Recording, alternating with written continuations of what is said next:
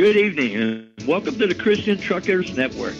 This is a ministry that welcomes guest speakers to share their testimonies as well as the Word of God as the Holy Spirit leads. If you would like to be a participant, you can call in at 641-715-0689. Then they'll ask for an access code, and that is 863-397, and then the pound sign. Again, that number is 641-715-0689. The access code is 863-397, and then the pound sign. Well, I am very happy to have our guest speaker here with us tonight. A little bit different than what we normally are accustomed to. Um, you know, with different uh, preachers coming and sharing the word, and others coming and sharing testimonies. Tonight is uh, our brother Bo.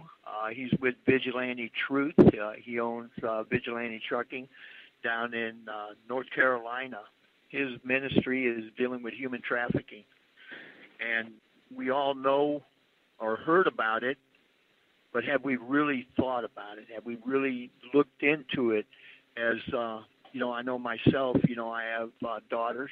Uh, I have a couple granddaughters that are coming up. They're a little bit young right now to be out of uh, range of their parents or whatever. But you know, we need to be very concerned about this. This is a personal, uh, bringing it personally to us because this is happening right there in each and every one of your neighborhoods. So with that being said, um, I would like that you would all just pay real close attention to what is being spoken here tonight. And uh, I want you to really meditate on this. So, Brother Bo, um, enlighten us to what's going on around us. Well, thank you for, first and foremost, for allowing me the uh, opportunity to share God's heart for uh, ending trafficking in the United States. And it's just truly an honor to be able to, to, to speak with you tonight and uh, and get this message out. I guess uh, from your introduction, I, I I'm going to, since I have a little bit of time, maybe uh, give a testimonial and then do a little preaching, and uh, and in the meantime. Uh, throughout that, uh, educate everybody listening as to the fastest growing criminal enterprise in the world, as well as the fastest growing enterprise in our country, our states, and our cities, um, that would be faster growing than drugs and guns and internet fraud. I mean, truly, the fastest growing criminal enterprise right now is human trafficking. So, um, it's I'll, I'll, it's a dark subject. I try to keep it as light as possible. Uh, if I ruin someone's dinner hour tonight, I apologize in advance. And if I ruin your breakfast appetite tomorrow morning, I also apologize in advance. Uh, it's a very serious issue, uh, but at the same time, uh, you can find joy in anything, and, and the joy I find is in the restoration of both the victims uh, and the men uh, that, that are consumers of those victims. So that's where we'll start with it. Uh, for me, I think I was like 99.9% of the people who will listen to this message uh, six, seven years ago. I knew nothing about trafficking. Um, had heard the term, uh, but when I would hear the term human trafficking, I would automatically relate it uh, to to drug trafficking. Um, you know, smuggling of something across the border, and, and really, the the term human trafficking is a term that I don't even like to use. I think it misleads the general public into what's really going on, uh, on in the United States and, and, and across the world. Um, I like to use the term human slavery. Um, it's not about, and this will probably be the biggest surprise, it's not about smuggling girls, especially when you're talking the trucking transportation industries. This is not we're loading up a, a truckload of, of Mexican females and, and bringing them across the border into California and then spreading them out through the country. And so as a, a trucking company owner, I'm involved in this to quit the smuggling of females across the border. It's not that at all. Um, what it actually is is human slavery here in the United States, and 80% of the victims being trafficked right now in our country are born in our country. So that's the reason I don't like to, to introduce that trafficking word. It, it's not across the border. It's already here. And of course, you have the other 20% are people being brought in from other countries uh, to meet the demand for services here in our country. But the focus really needs to be on your local uh, your local Girl Scout, you know, your, your local PTA mom. Um, it's it's a, it's an all age kind of problem. Your sisters, your daughters, your mothers. Um, and we'll go into why that that's true and why we need to be aware of it. Um, but again, going back six, seven years ago, I didn't know anything about it. I uh, offered to meet with a wonderful couple. Um, the the wife, and they were in their early 30s, in, excuse me, early 30s, but the wife was a medical doctor, and she had walked away from her career, and the husband was a veterinarian.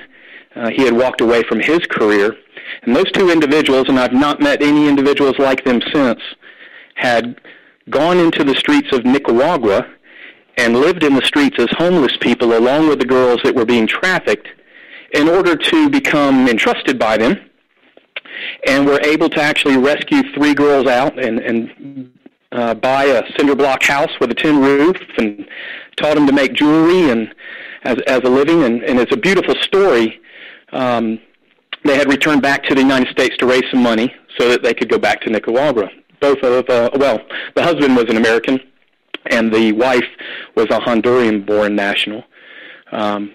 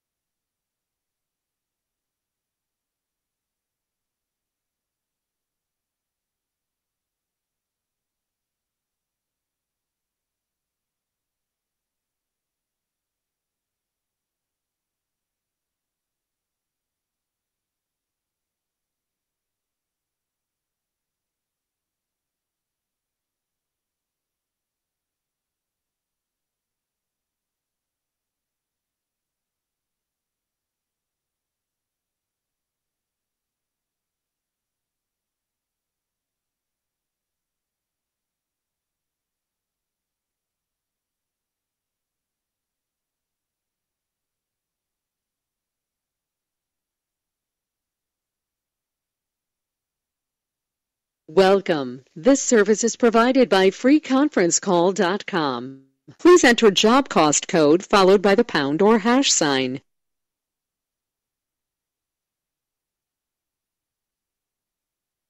There are four participants in the conference. The recording has a money for transaction. So muted. the uh, the truck drivers are, are willing to be the consumer demand, and and so I ended up with a trucking company so that I could be an authentic trucking company owner and speak into the lives of truck drivers, so that I could effectually do my best to end 50% of human trafficking.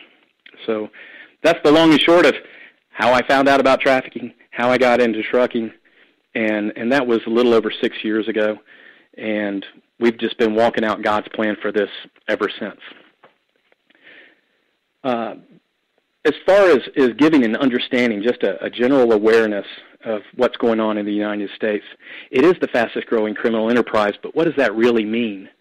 Uh, what it really means is there's $9.8 billion spent every single year to have sex with these victims, with these slaves. Now, I don't know if you've ever had $9.8 billion before, but that would be more money than all professional sports combined is spent on games and ticket sales and uh, all of that doesn't even add up to 9.8 billion dollars. So that'll give you the size in the United States of America of the money and the marketplace that uh, that this is this is going on. Um, I like to, to use an example while I'm talking about sports. Uh, I'm a Charlotte, North Carolina resident, and in Charlotte, we have the Carolina Panthers. And whether you like them or not, on any given Sunday at 1 p.m., there will be 74,000 employees, so call it 80,000. And somebody were to do something terrible, drop a bomb at 2 p.m. in that stadium, and all 80,000 of those people lost their lives, not only would Charlotte hear about it, not only would the state of North Carolina hear about it, not only would the USA hear about it, but really worldwide would hear about it, and and it would be talked about for years to come.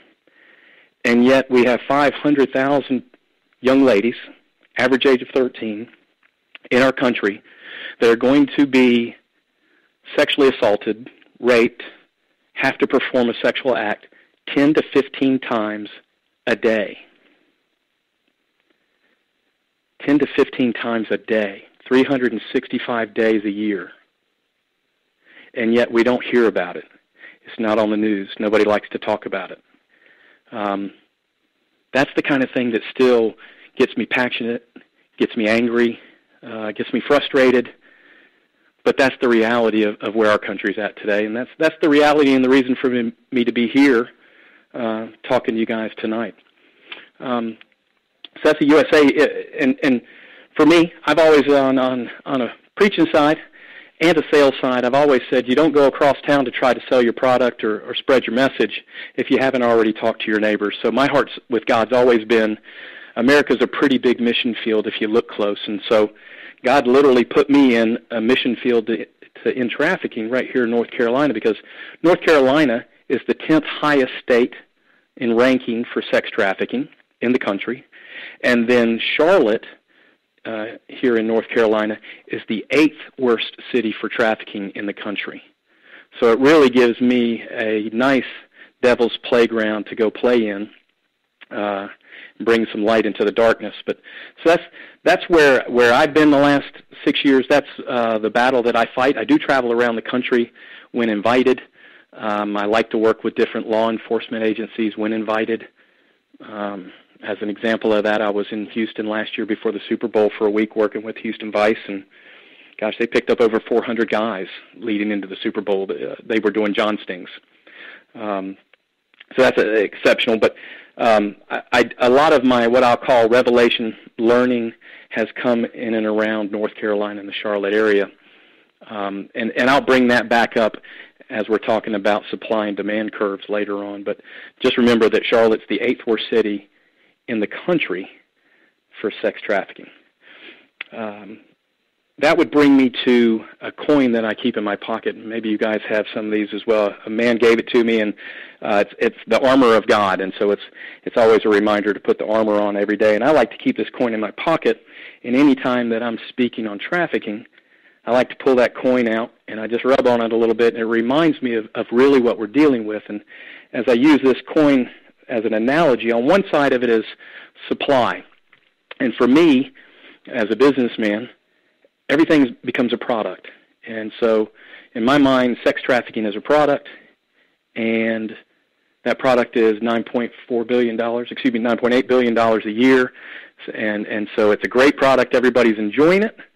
And how is it then that uh, most people are trying to affect supply, get it on the shelves? And so I'm just re-engineering my mental, uh, you know, skill set to get the product off the shelves so, but the supply is is the girls, and the manufacturer is God, and the salespeople, the distributors, would be your traffickers.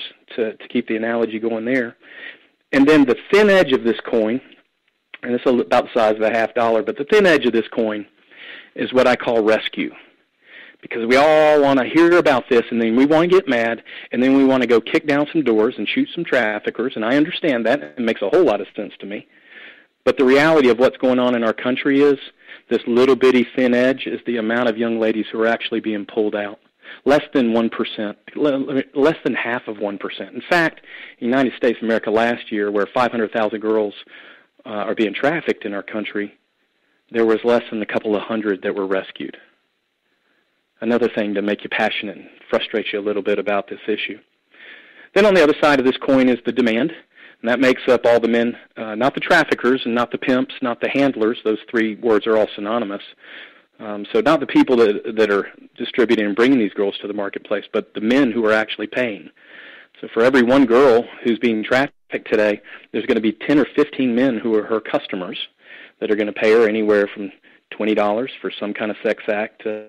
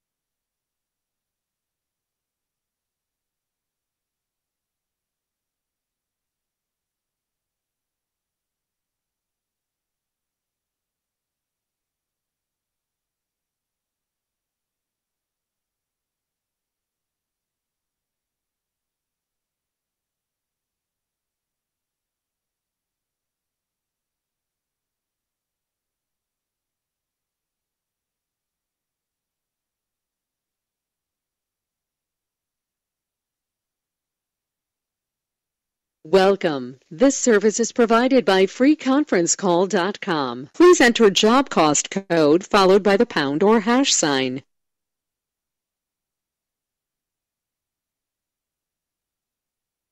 There are five participants in the conference. The recording has started. Well, now you're down to 50,000 females right, that are needed, and, and not that number is certainly too many. Muted. But at the same time, um, that number is less than 500,000, and so we're, we're working our way to ending it. And so, vigilante truth, the trucking part, you know, I talked about that earlier, and I'll bring some of these points back around. If we have 50,000 customers, or I'm sorry, 50% of the customers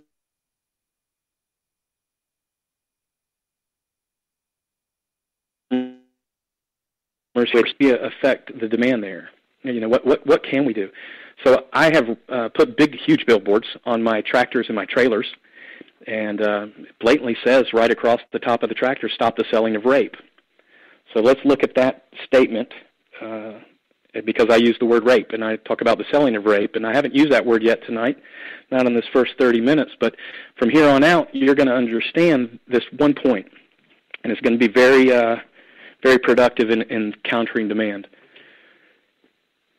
when a, a truck driver, um, we've we've done stakeouts and, and truck stops, and and um, so I, I understand how this works. A truck driver pulls in, he parks, and a young lady will come up and knock on the door and ask if he wants any company, and and if he says yes, she'll get in the truck with him. Um, they'll have a sexual act and, and a transfer of money, and she'll hop out the passenger door and go knock on the next driver's door at the truck next to him that driver, that man, that human man, he has put a value on that young lady of whatever that dollar bill was for for her services. So if it's twenty dollars or a hundred dollars, that's what he's valued that young lady at. And I'm going to come back to value of females later. But what he thinks has happened is a consensual sexual business deal. Uh, she was smiling. He didn't hit her. Uh, she wasn't bleeding. She wasn't crying. Uh, when it was over, she, you know, took the money. She might not have looked back. She might have thrown him a middle finger. Who knows at that point? But the reality is, he never had to hurt her in his mind. And she was doing the offering. She's the one that knocked on the door. She's the one that that, that started the whole encounter. So how could he be guilty of anything? Um, you know, even even if he's just a single man with no kids, never been married, right? So what he doesn't understand is outside of that, and it, it reminds me of a 74 year old trucker I was talking to, and he said, Bo, you're right. I remember this girl coming down. She was working truck to truck to truck. She had a big smile on her face, cute as a button. I don't know. She says she was 18, but she probably was only 16. But the point was, I've just never seen a salesperson work so hard as that girl did. And I said to him, "Well, here's here's what you don't know. You saw that." I said, "But what you don't know is is she has been threatened with her life, blackmailed with the life of her friends and her family and perhaps her own children. She's been beaten. She's seen other girls killed. So she understands it's a life or death thing.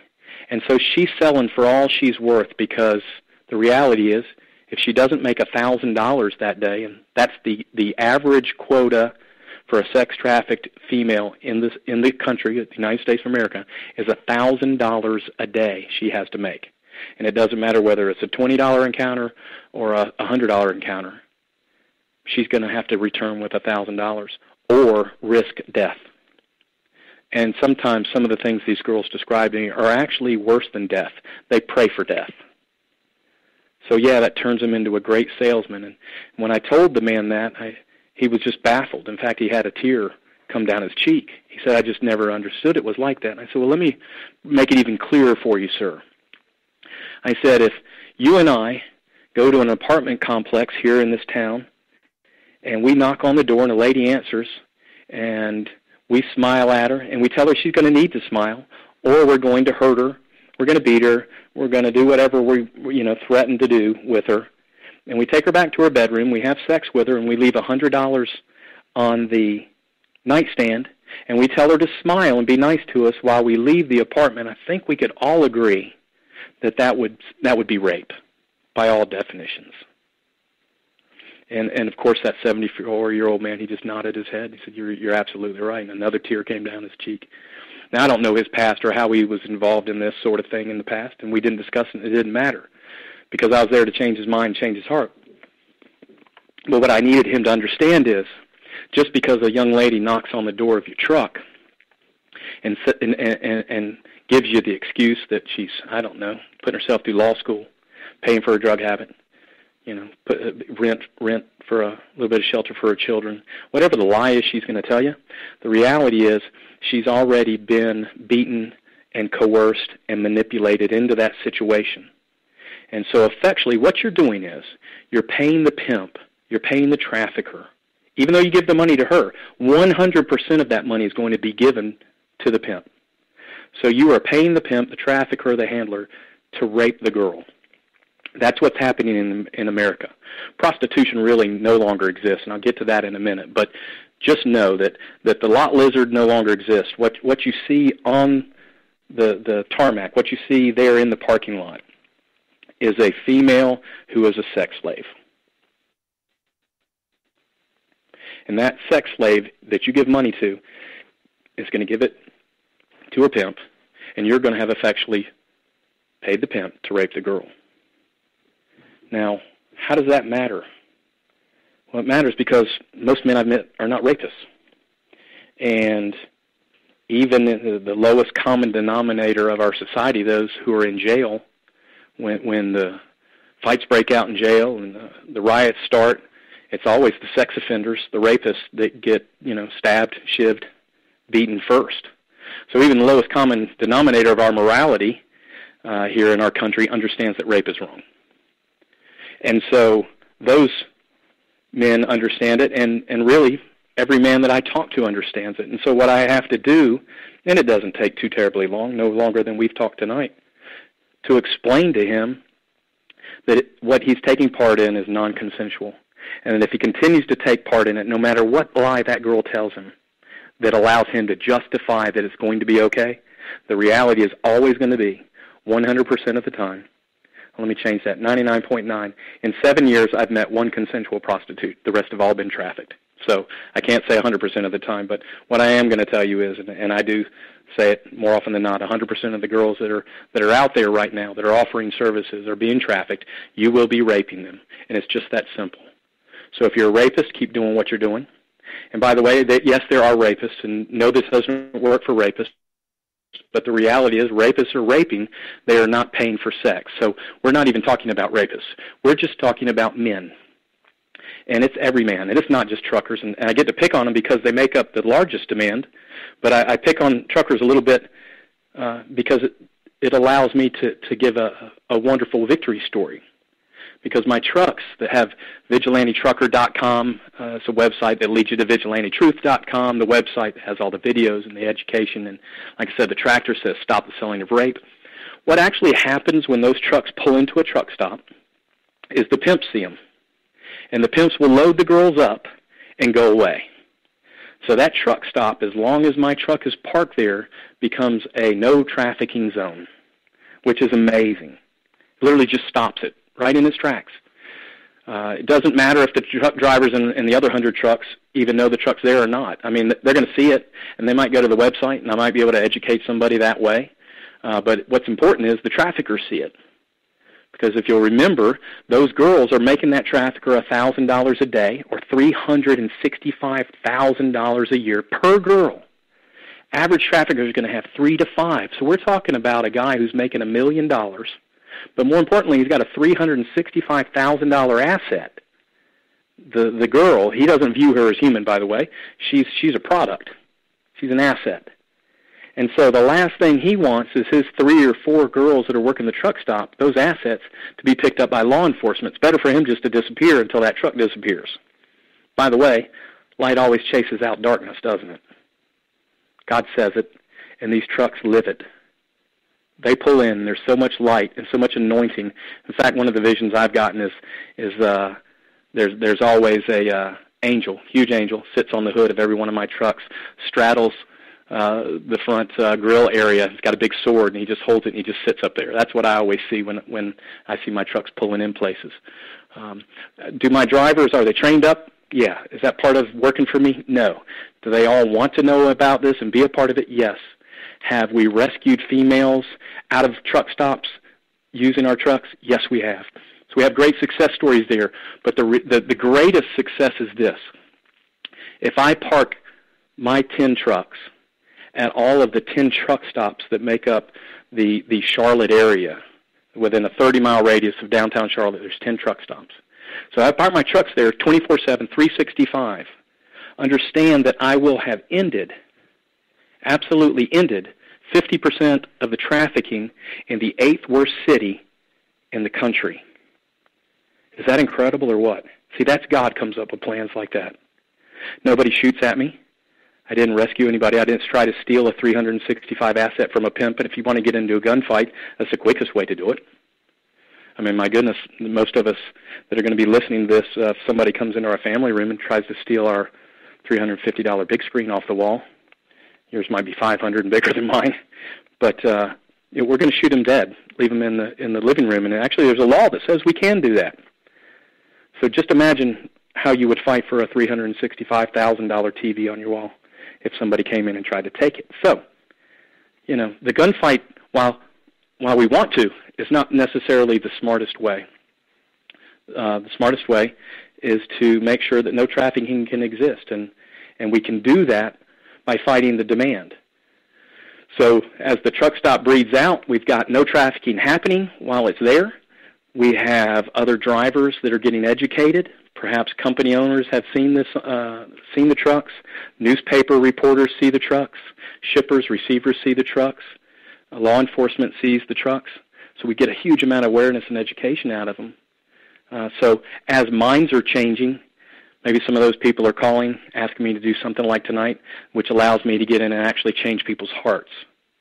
So the, the system of ending demand is we have to change the hearts of every consumer man that's purchasing these girls. We have to get them to understand mentally, yes, you're a rapist if you have sex with her. That's effective, but that's only a mental change. But that will buy us time, as do the trucks. Trucks are a no trafficking zone. That buys us time to get to the mines. And then we talk about the fact that you'd be a rapist if you were with this girl and explain what sex trafficking slash prostitution looks like in the year 2018. And that buys us a little time to maybe I can get one on one with these guys. Maybe at a driver's meeting, one on 30, where I can really speak like I am tonight and really delve deep into somebody's heart and make a change there. Because when I've changed a guy's heart, well, by gosh, I know that he'll not be purchasing sex again. And that's the miracle of all this, and that's how God can operate. I'll tell you, as uh, some of the fun things that we do focused at Vigilante Truth on the demand, not only do we have the trucks that are out in the truck stops, but we also are known to uh, uh, do these hotel stings where we uh, pretend to be a, a prostitute online, and, and men are lured to the hotel, and uh, female decoy will let them in, and go into the bathroom, kind of like if you've ever seen To Catch a Predator on TV uh, with Chris Hansen. Uh, gosh, that's about 10 years ago, but we do the similar thing. But I'm not law enforcement, so that we're not there to arrest anybody, and and uh, it's 100% ministry. And yes, I said earlier I do work with law enforcement uh, because we're good at it, but uh, nine times out of ten, we're actually just doing it 100% as a ministry, and nobody's getting arrested. But what's happening is I'll go in and educate that man, and you can imagine when I come out of the bathroom, he's he's trying to decide, you know, what's going on. So I explain it to him. I explain that we're not law enforcement. I explain that I'm not there to hurt him in any way. I explain that I'm there to explain to him that he's a rapist. And I spend about 15 minutes doing that. Uh, but what happens after that is I like to start building the guy back up. And that's a weird thing to say. Uh, it was weird the first time it happened um, now it's it's second nature and it makes perfect sense because this is how God operates. But I build that guy up for a little while, and then I let him know that I don't think he's a rapist. I think he was just ignorant to what he was doing, and then I let him know that while I am there to free the girl, the reality is I'm there to free the man. And and these men are, are self medicating with the commercial sex trade, whether it's loneliness or some kind of trauma from their past uh, I've heard many a story sitting in those hotel rooms knee to knee with these guys. but what what I found is they're broken, and they need their heart not only changed, but they need their heart healed. And so we spend the next 30 minutes, because I usually go through about a guy an hour, but we spend the next 30 minutes allowing Jesus to come into those men's hearts and uh, and change them and heal them, because I know when that's there, they'll never be in those hotels again. And so once again, we've just sat back and watched what I call it like I just call it it's so Jesus, because I have in my hands their entire lives. I, Bo, a human, have in my hands the lives of this man. I know his his name, his phone number. I know where he works. I know his social media. I know where he lives. I know his wife's name. Seven out of ten of them are always married. Uh, I know th- I know his children's name. I might even know where he goes to church. Um, and and he it doesn't matter. I've had 18-year-old high school seniors all the way up to 72, uh, excuse me, 70-year-old Methodist organ players. I've had every race, nationality sit before me: black, Latino, white, Asian, Indian. Um, it's just amazing all the broken men that exist in our country. And so I have their lives right in my hand because I'm taping it all on video, and and they're one click away from being in front of my 500,000 Facebook followers. And what I simply do to them is say, you know, Jesus showed me grace, and Jesus set you and I up for a divine appointment tonight. And it's really important right now for you to recognize that. And it's really important for you to understand that I'm giving you your life back just like He gave me mine, because I was never any better than any of those men. And so, what that last 30 minutes ends up being is a, a broken man gaining healing, being prayed over. And uh, I can tell you, many a man hits his knees and starts to bawl like, like, like babies. And not because they're going to get arrested, because they're not. And not because I'm going to expose them, because I'm not. They're crying because they've been healed and freed from the pain that they've been self medicating. And you know what that cost me? And, then, and my team's made up of 100% volunteers. So it costs me nothing, maybe a motel room. Sometimes the guys will leave us enough money that they were going to pay the girls. They'll make a donation. We don't ask for it, but they, more often than not, God will provide the cost of the motel room via these guys. Um, but it costs me nothing. You know, I receive freely and, and I give freely, but lives are changed, and and so that is the demand side. Uh, to wrap one of my trucks is two thousand dollars, and in the scheme of things, that's not a whole lot of money either. When you're talking about a hundred thousand dollars to for one year to, for a, for a victim restoration or or to keep her up. So I hope that as I've cruised along here for the last 50 minutes that I've given you an understanding of what we face here in our country, that I've given you an understanding of how only focusing on one side or another um, can can you know cause a problem. Uh, we, and, and rightly so, we should not all be focused just on demand, right? So uh, it's great that God has has uh, fabric uh, putting the fabric together and He's weaving us all together so that uh, there are groups out there that are focused on supply, and there are groups out there that are focused on rescue, and there are groups out there that are focused on demand and we're going to end trafficking in the United States because of because of His kingdom plan to do this. And well, I just give Him praise and worship Him for that. And my goodness, um, to understand what He's doing and, and the horrors of this are, are, are simply this is overwhelming. It's just overwhelming. Uh, people always want to hear a couple of terrible stories. So if there's uh, some kids on the line, you might want to if they're under under 13 or 14, you might want to let them go do something else for a few minutes. But I want to use some terms with you uh, in these stories so that you get an understanding uh, of what it can really look like. Um, the first story is going to involve a young lady. Um, her father started sexually abusing her at a young age, and so the foster care system took her over. And um, unfortunately, foster care is a breeding ground for traffickers. Uh, it, it's it's terrible from from all issues, and um, we we've heard stories. We, being American citizens, have heard stories about stepfathers and foster fathers doing terrible things to girls. Um, but this particular story is about a, a foster mother, and the foster mother was actually had taken this girl and was trafficking the girl. So I, I want to, you know, I want to expand your mind a little bit. You know, I always tell people don't put God in a box, and and I would tell you not to put trafficking in a box because anytime we put something in a box, we are limiting ourselves to our field of vision. And so if you're only out there looking for the boogie bad man pimp with the gold tooth and the, the fur hat and cane, you have missed out on the the trafficker that that is wearing a thousand dollar suit, gray haired, married, and has three kids. You don't want to miss out on either one of those two guys. So to understand that, yes, uh, of the traffickers, sex traffickers here in our country, only 60% of them are males. And then you have 35% are females. And then 5% are couples. What's it look like for a couple? A couple will actually move into a rental house in a nice neighborhood and I don't mean like million dollar neighborhood. I mean like the neighborhood right across the street from you, and uh, where all the kids go to school every day. And they will take one of their trafficked children and intro those children or that ch- child, excuse me, into the high school. And that child is manipulated enough to recognize somebody else that can be manipulated. And she'll invite that young lady over for uh, a spend the night party, a little sleepover. They still do that the difference between a sleepover party or an invite over party uh, when I was young to now is when I was young, my mom and dad walked me in the house and met the parents and made sure that I was going to be safe before I ever stepped foot in that house. Now kids get dropped off. The parents don't ever walk in. In fact, even the next day, a parent's just going to text from the driveway, "I'm here," and, and the, the the young lady will walk out. But what's happened in between getting dropped off and, and the home not being checked out when I mean checked out, a, a trafficker's home's not even going to have pictures on the wall, right? Because they're going to be looking to move quick. So it's not going to be a permanent setting. There's not going to be anything in the refrigerator, things of that nature.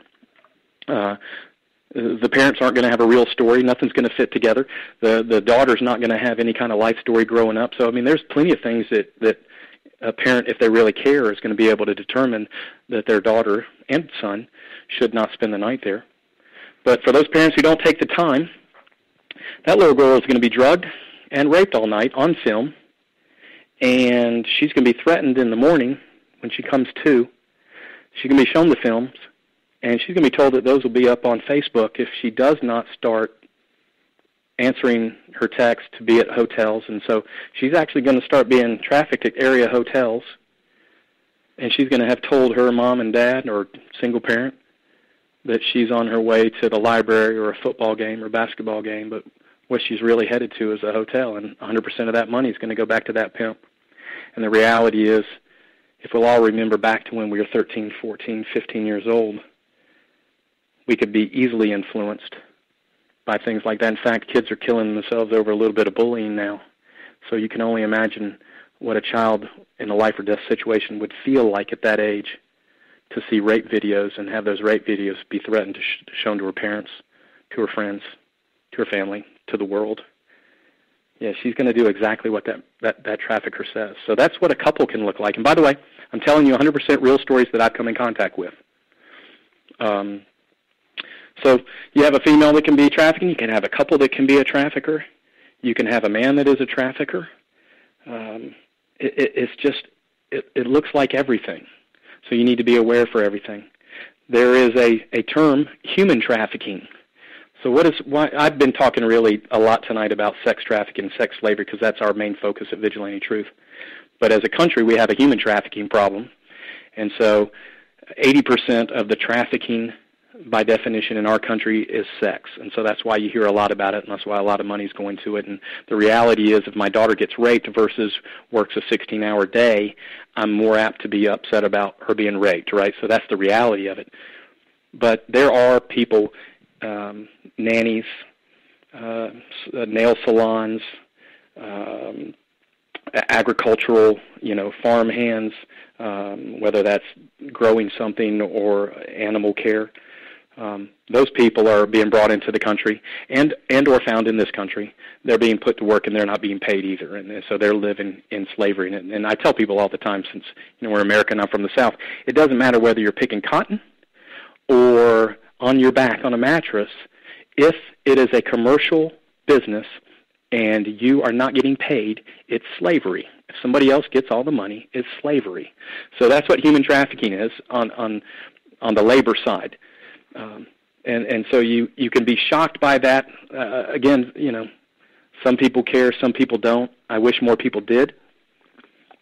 But the reality is, it can blend. We had a hotline call from a, a young man, and uh, we went to facilitate getting him rescued. And this young man was had had been running down the street naked. He was uh, 20 years old. He was Asian. He had been brought into the country. He was forced to work at a Chinese buffet restaurant in the kitchen.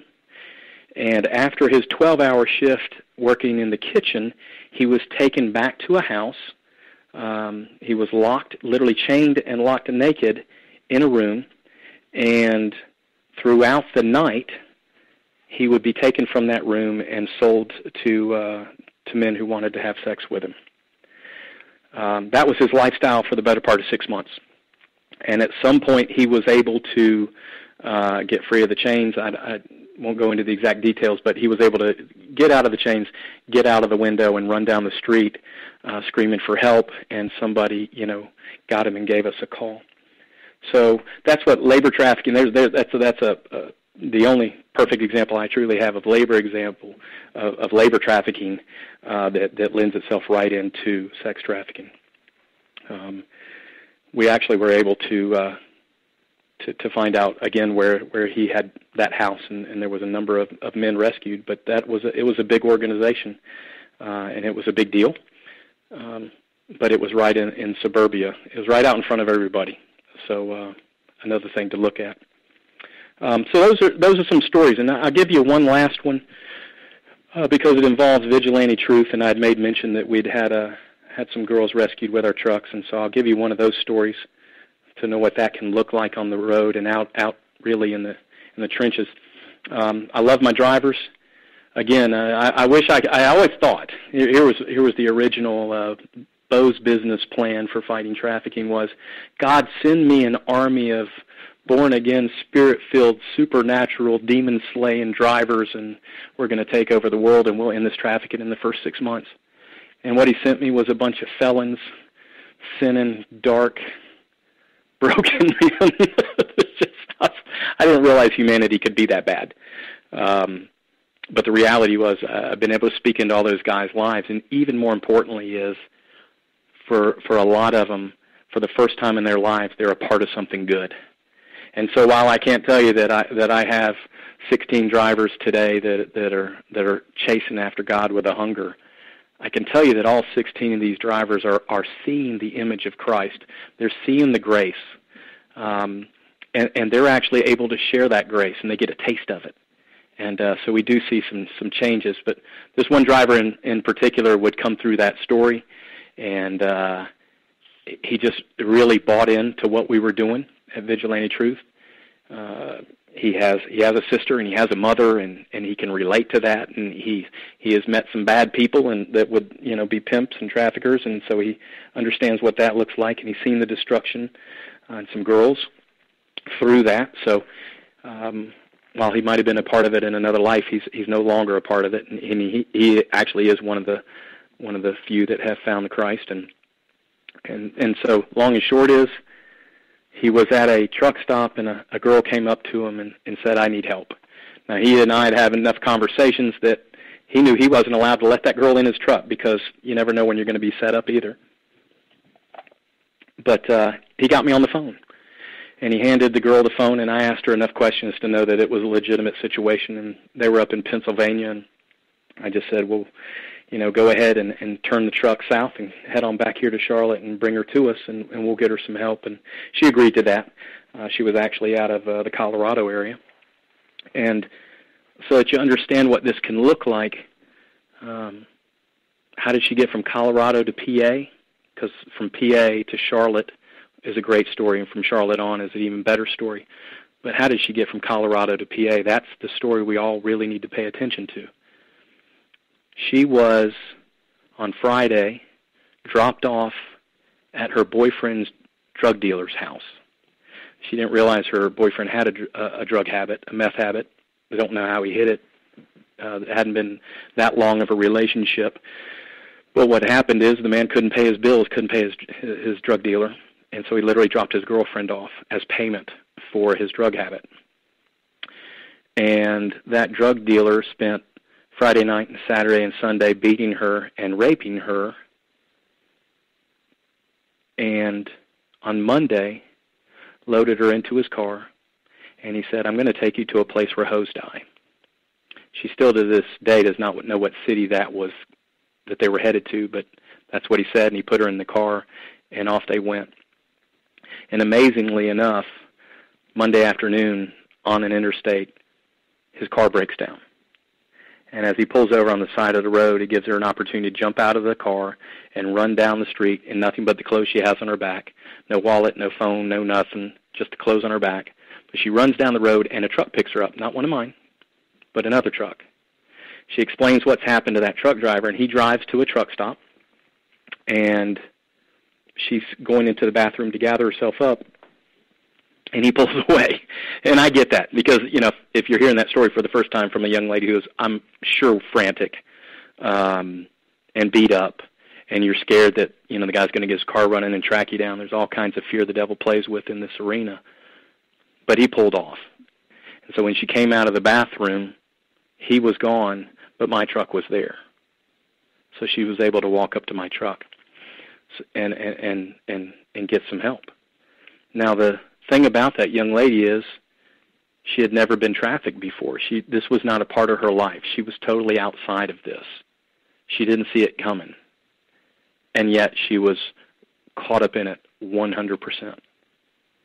And then a lot of times uh, when I'm speaking and if I bring this story up, I ask the audience, what what age would you tell me this this this female is?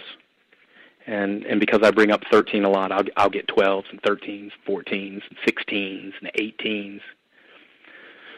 This was a white woman with all of her teeth, pretty, nice hair, smart. She was 32 years old. 32. So it, it, it, it can. I, you know, we talked about it a couple times tonight. It, it's every girl out there, and it's every girl out there on the supply side, because it's every guy out there on the demand side. Sure, there is a guy who's willing to pay twenty dollars for a girl, and he's going to get what twenty dollars would buy him. She might have her teeth, might not. She might be all drugged up. She might not. Most likely, she has no teeth and she's drugged up. You know, you follow me. But there's going to be an executive who can afford to pay a thousand dollars for a girl, and he's going to ask for all of her teeth to be there, maybe even college educated, and he might be willing to pay two thousand, twenty five hundred, five thousand dollars, ten thousand dollars for a supermodel, right? Because he can and he will, and that's what he wants to purchase some people buy beater cars and some people buy Ferraris, right? It's the same thing. So it's every girl. Just because you don't think you live in the inner cities that you're safe, you're not. Because there's a man in your neighborhood that's paying for sex. One out of five men, one out of five, that's 20% of, our, of the men in our country.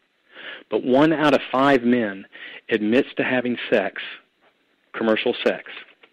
One out of five. How many men live in your neighborhood? How many men live in your city? How many men live in your state? I said there was 500,000 girls out there tonight that are victims, and they're going to have to be with 15 men. That's seven and a half million men today, just today, because most guys aren't doing this every day, doing it once a week. But 500,000 times 15 is 7.5 million dollars, and if it's once a week, let's multiply that times seven. That's 52.5 million men.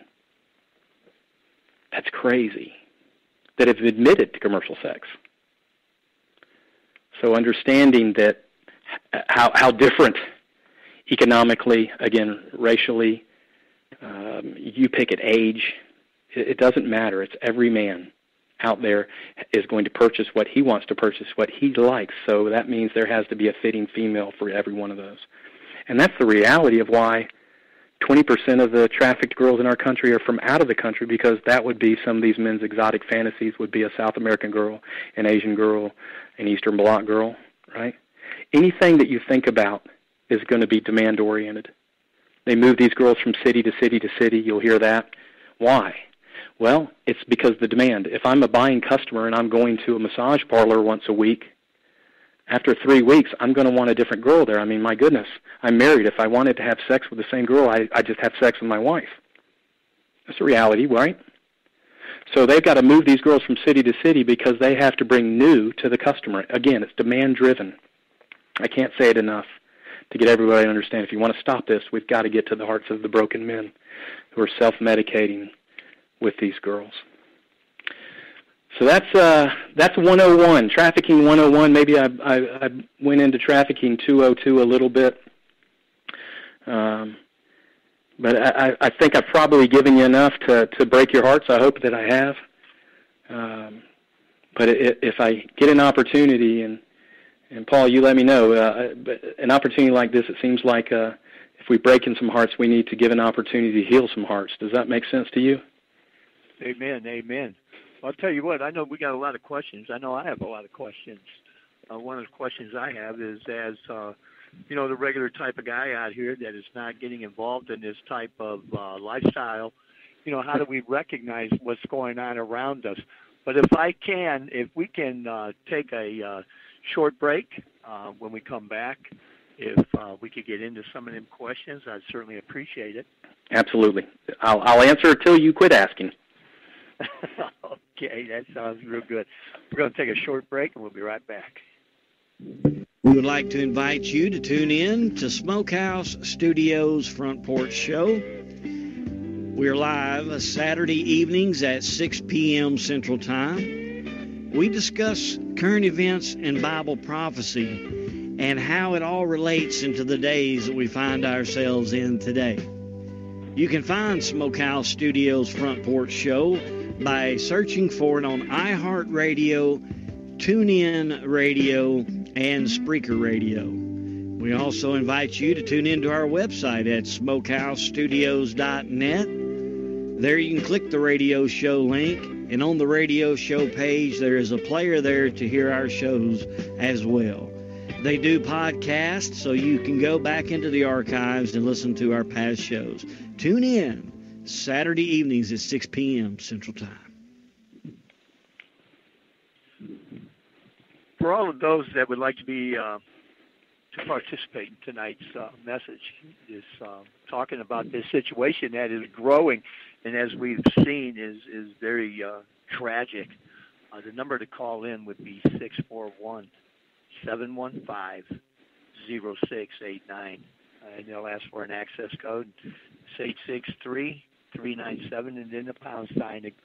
Again, I'll repeat that number. It's uh, 641 715 0689 with an access code of 863397 and then the pound sign. You know, again, uh, the question that really, well, there's a lot of questions that are jumping out at me, and I, I don't want to, you know, I don't want to monopolize this because I know there's quite a few callers on. But uh, you know, how do we recognize that? You know, a lot of us being in the trucking industry and you, you know, owning trucks, you understand. You know, we're 100 mile an hour all the time. You know, getting fuel, running inside, getting receipts, cup of coffee, hit the bathroom, right back out, back down on the road. You know, we walk past a lot of this stuff that's going on, and it's totally, uh, you know, Greek to us. We don't understand it and we don't see it. What do we look for? Well, you normally you don't have to look too hard. I mean, as you guys know on the road, uh, when you're parked, you're going to get a knock on the door. In fact, if I if I ever have a driver that moves from one of my uh, my older trucks into a new truck and I haven't wrapped it yet, he wants to know how quick the truck is going to be wrapped because he wants to be able to go back to sleep because the girls won't come up and approach our trucks um, for fear of, of reprisal. But if if other than just saying no when they they knock on the door, let me tell you what a sex trafficked female uh, cannot do. A sex trafficked female cannot speak for herself.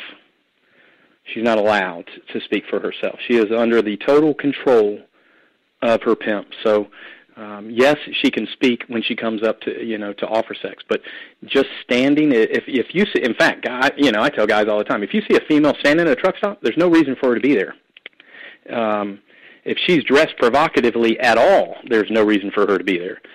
Pimps have gotten a little smarter now. A girl's going to be wearing jeans and, and boots and a hoodie, but still, you know, you guys know the difference between a driver and a female right? Or a female driver. You know the difference between a female driver and a female at a truck stop.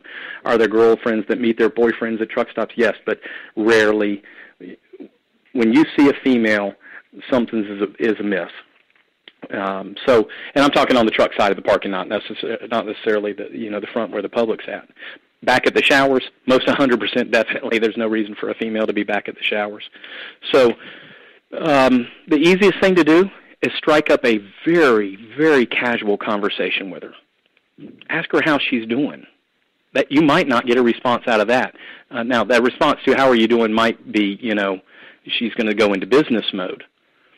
Ask her where she's from. You know, how long has she lived there?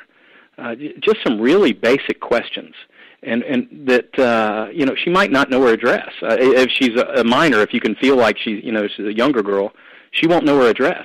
Oh, where are you from? Georgia. Oh, really? Where in Georgia? Uh, she might not even know she's in Atlanta, right? How can a how can a girl not know she's in Atlanta when you're in Atlanta at a truck stop, right? So, right. Uh, uh, I'm I'm from Atlanta. Oh, really? I I I love Atlanta. I come through here all the time. Uh, you know, what part of Atlanta do you live in? Uh, if you don't know Chamblee versus you know some other part, like Kennesaw, or you know,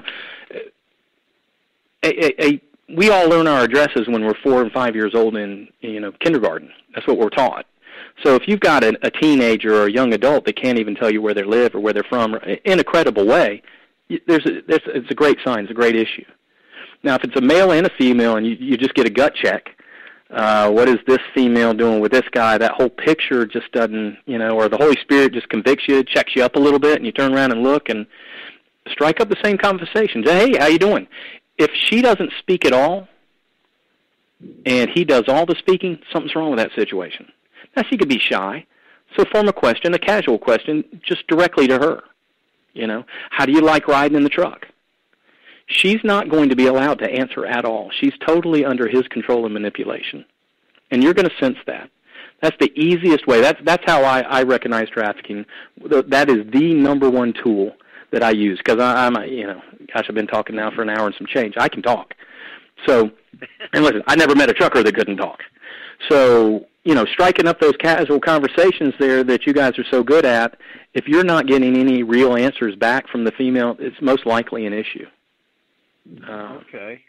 That's, you know, the days of the thigh-high boots and the short, short miniskirts, and now I see that stuff. So, I mean, it still exists. But, I mean, the, as we nonprofit organizations and and law enforcement are getting smarter about this.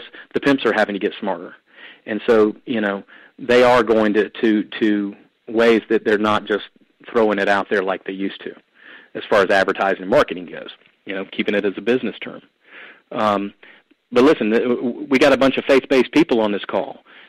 You need to uh, to listen for the Holy Spirit to convict you as to what's going on and based on that conviction, open your mouth and ask some questions. And if you don't feel good about it, take it another step. I mean, it, it's nothing to, to say something to a manager. A lot of the truck stops, especially in the evenings, are going to have some kind of security there. Um, so it's nothing wrong with with walking up to a guy and going, "Hey, man, I just I don't feel good about this situation. Do you mind going over there and having a conversation with him?" So the worst thing, what's the worst thing that's going to happen is a boyfriend or a father is going to find out that somebody cares about their daughter and just wants to make sure she's okay. Should that upset them? I don't think so.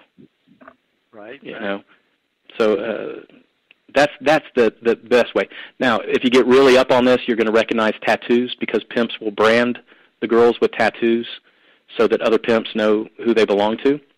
Um, those tattoos will be visible. Now, they might be up on the back of the neck, kind of at the hairline. They're going to be on wrists, forearms, hidden but not hidden.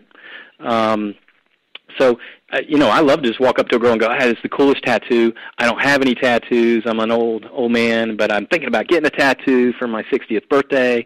What do you, you know, where'd you get your tattoo?" And you will watch. You can watch their eyes. And, you know, some people go, "Oh, I got it at such and such and such," and I'd always want it. Really, what's what's that star mean? Oh, I, it's for my mother. You know, they, they, somebody's always a story to it. But if you ask her what her tattoo is, and she turns white on you, and doesn't know where she got it because her pimp actually did it to her, right? And she doesn't have a story to go with it. Um, those are that's another those those two things: conversation and tattoos. Wonderful way to find out if a girl's being trafficked, specifically at a truck stop or a rest area. I'll be darned. I wouldn't even, uh, you know, the conversation. I, I can see, but you know, you wouldn't think that, and because we don't think about it that much, that they actually these girls are branded. Sure, you know, they're cattle. Who is a brand? Yeah, that's amazing. We're still we still see them as human, and we should. We're the good guys, right? But the bad guys do not see them as human. Uh, you know, and, and real, the reality is our culture in America doesn't see a, see them as human, and I'll prove this to you. I have a, a rescue dog, Molly, and, and and I always tell people, or people say that, Bo, you rescued her, and I say, no, no, actually, she rescued me. But the reality is, if I take Molly and I hook a chain to her leash, and I hook the end of that leash to the bumper of my truck, and I drag her down the street, I'm going to be charged with a felony, a felony ch- uh, animal cruelty. Now, my lovely wife, who uh, we're high school sweethearts, we've been together for almost 35 years now. If I take the same leash and put it around her neck, or uh, and, and attach the same chain to it, and I pull her down the street with my same truck, do you realize I'm only going to be charged with a felony? I'm sorry, excuse me, a misdemeanor. I'll only be charged with a misdemeanor. So even culturally, we're not getting this right. Things have just got to change. We just have to understand uh, what's really before us. Amen. Well, the floor is open. If anybody else has any questions, any comments, feel free to jump in here. I've got a question. Um, you've been in this for how long now? Uh, over six years, under seven, but but uh, full six. Have you thought about uh, expanding to different area? Um, and the reason why I'm asking, I've got a family member that moved to uh, Portland, Oregon, to, to go to school there, and this person started working for an organization there that uh, focused on human trafficking up and down I 5 mm-hmm. you know, Washington, Oregon, and California. California, sure. And yeah, and the stories that this person told me is just I mean, it's like yours. I mean, it's it's it's hard to grasp. I mean, you know, the the girls that uh, they would uh, help, they would get them into a uh, their own place, help them get a job, and stuff like that. But you know, some of them went back to doing what they was doing. You know, Eighty percent. Here's a stat for you: eighty percent of right. the rescued victims go back into the life. Go back, right? Yeah, yeah, yeah. And you know, Why and is that? I don't know. We don't have the don't services. Uh, we we don't have the proper care. Um, right. I'll I'll, I'll be. Uh, sharing this message at a church and we'll have an altar call after the fact for healing. And I'll have women come up to me uh, and I use the term women so I'm I'm talking all ages right? Teenage girls teenagers uh, ladies women. I'll have females come up to me and ask me to pray to heal their two three four personalities. I've had a woman come up to me and ask me to pray for all 100 of her personalities. I, what I didn't know in the beginning and, and what is just it's still to this day is impossible to understand is how damaged these girls are, how split and fractured this trauma right. has has you know has just ruined them. It's, it's when uh, I, I I even I hate to say this publicly, but I, I haven't been able to figure out how to get the point across in any other way. I affectionately call these girls nuclear garbage, nuclear waste. It, it's it's you know we have our regular landfill waste and we we just put it in a landfill, cover it with a piece of plastic, and drive over with a bulldozer, and we're done. It's a new park where we can walk our dogs in ten years. But but you know, there's there's nuclear waste in our country that we just can't put just anywhere, and we really don't know what to do with it other than put in a 55 gallon drum and, and hope it doesn't leak. This is so new to our community uh, it's not new to God. And and man, I, I'll tell you what, of the 20% that do not go back into the life, I'm going to tell you that 19% of those God has intervened and, and just radically, miraculously healed these girls from the inside. Um, right. But we are still not prepared as as a culture in America because it is so new.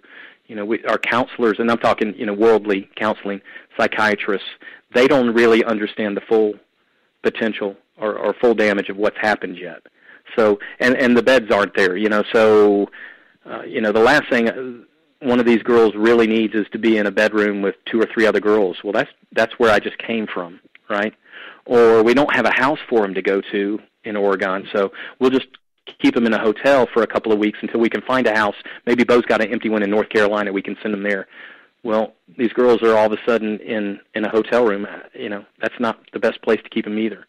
Um, so we have a family maybe then that's going to volunteer as a foster care uh, for a few weeks instead of the hotel, so we can get them into a full time situation. Well, this girl just got trafficked in foster care, so that's not the healthy place to put her. So there's a huge amount of problems. We're going to overcome them all. Everybody's going to get better. There are a number of organizations nationwide that are really grasping what's going on and, and doing a great job. Um, as far as to, to answer the first part of your question, sir, um, vigilante truth, we go, I go, wherever God invites us to go. So we, uh, you know, and period. End of story. And I don't charge. So uh, uh, if somebody calls me from Oregon and wants me there next week, I'm hopping a plane and we're going. Um, I just follow God's lead on on all of this. Um, so He's going to grow this as as He wants to grow it. Um, the the country's just figuring out that fighting it supply only is not necessarily the full and best way to do it. And so they're starting to understand, and that's organizations that that are restoring the girls. I I um, am part of the the leadership team here in Charlotte that makes up six organizations. I'm the demand side, and the other five organizations are all on the the restoration side. And and the founders of those organizations are constantly asking me when I am going to end trafficking. they're overwhelmed um, but I speak with them on a regular basis because they're talking about one side of the coin. I get to play with the edge and the other side of the coin. So um, I do work with and am available to grow it as fast and as prudent as God would want to see it grown. Amen. Amen. Now I interrupted you. Did you have some uh, a second part to that question? Yeah. Well, I figure you, you know you probably know pretty much what I'm talking about out that way. Uh, I do. Know, I mean, it, yeah, I didn't know if there's anybody that's doing something like you over there already, you know, but uh, there's not. Um, That's what. Yeah. The, I, there's no one in the country, and I don't say this arrogantly or prideful at all. I wish there was a thousand Bos out there, but right now, right. Vigilante Truth is the only demand-focused nonprofit organization in our country. Um, I, I get invited to, to speak to different groups. I think that there are men. Uh, let me tell you, here's the quick, easy answer. The last thing that a traffic girl wants to see is a man. Uh, you're going to have to have a special anointing of God as a father figure um, that those girls can see God through you for you even to get in their space, right? So if I can't help out at the house and there's no sense in rescuing because there's nowhere to put them, what can a man do, right? Um, so at Vigilante Truth, we, we do form these teams. We do some undercover work um, in the hotels. We do undercover work at adult massage parlors. Uh, it, you guys drive by these signs. If you see the word spa and it's got Asian spa or Oasis spa or Happy Day spa, whatever kind of spa you're going by, and it's got a billboard on the highway, which, by the way, these places are blatantly illegal. They're whorehouses, but they got billboards. Go figure. It's our country. We'll work it out. Um, but every one of those places, every one of the girls in them are sex trafficked. Um, so, how, how, you know, what can a man do? Well, we actually go out and uh, we'll just do surveillance on the places 24 hours a day for you know a week, and we'll bring in all the pictures and give them to law enforcement so they can go and get the places closed down. So, those are kind of some of the things that that we do that some other groups might not want to do. Um, maybe their wives aren't going to let them go out and play with that kind of risk. I will tell you, I've never been threatened, not verbally, not in emails, not with text, not on Facebook. Uh, I've never had any kind of weapons pointed at me, not in any work I've ever done. I'm telling you, God has got His hand in this. He's got His army in this. His angels are in this. Jesus is all about it, and uh, He's got fire shooting out, out of His eyes about it. And and and the the safety that we walk in, and I think everybody fighting trafficking, if you're doing it wisely, you're going to find that fighting it via demand is, is almost boring. Um, in the fact that if, if if you think you're there for an adrenaline kick. Um, but having said that, what you know, what else can can men do? Well, we can quit listening to what I call glory stories, and and not the glory stories I talk about where God's operating supernaturally, but the glory stories where I'm going to tell you about the last trophy girl that I had sex with. And we're going to be sitting at a place having a Subway sandwich, or we're going to be sitting at a place having a cold beer, or we're going to be in a locker room, or we're going to be on the phone driving down the road in our trucks, and we're going to be sharing these kind of stories because that's what guys do. And if you can learn to say, hey, man, I just don't want to hear that, they're going to say why. And you're going to be able to tell them because, you know, it leads to X, Y, and Z.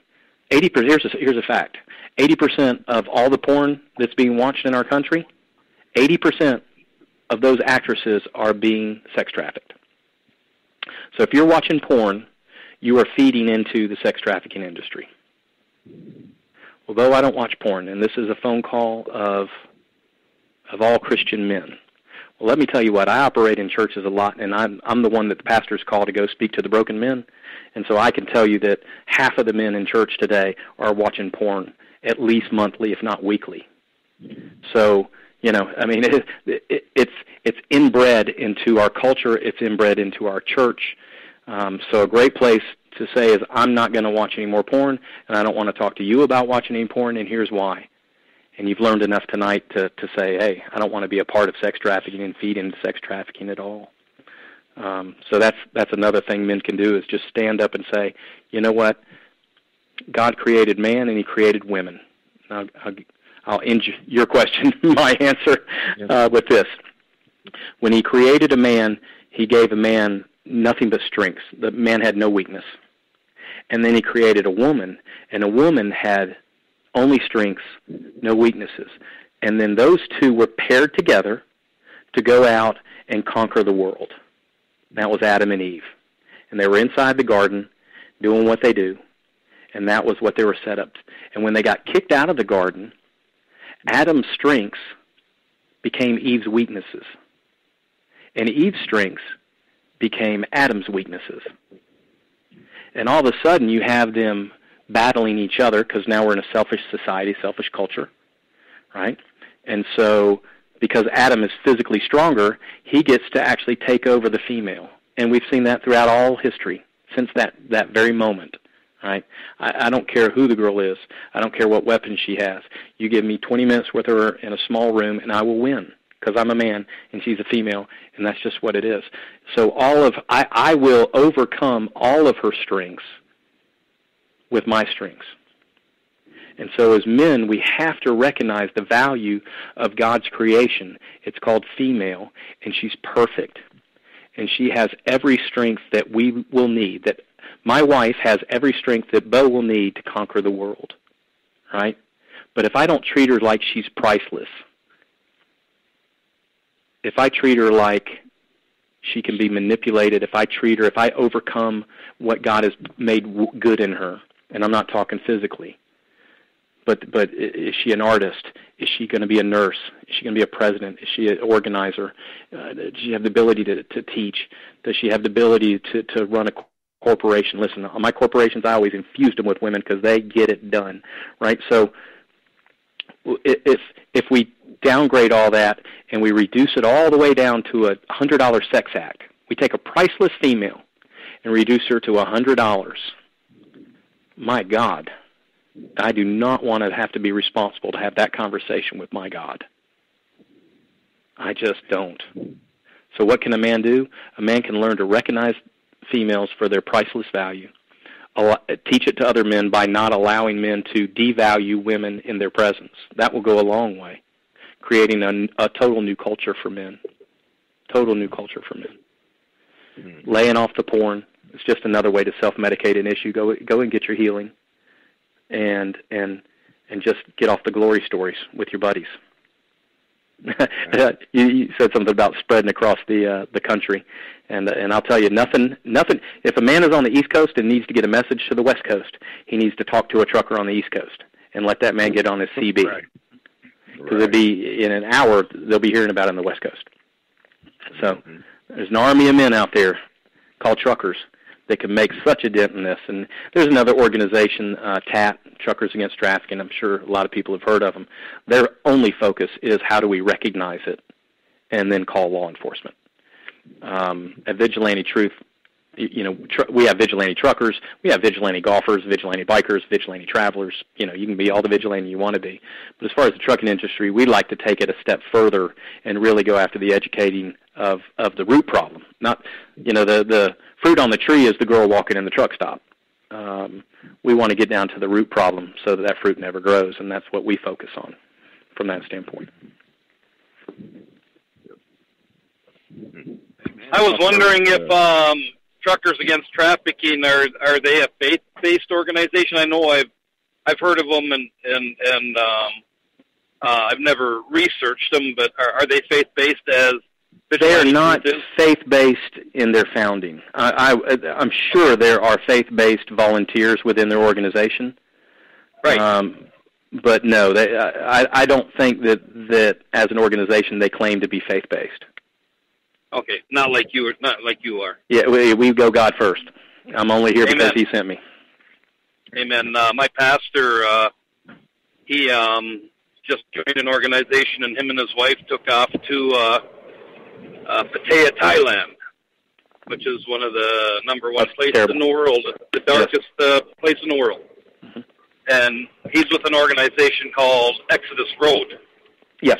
which is not a faith-based organization neither, but maybe he's he's to bring some of that into their organization. Who knows what God's plan is for him? But Oh, oh absolutely. you, Yeah, I always any organization that's doing good is doing good, right? I mean, you, you can't argue that.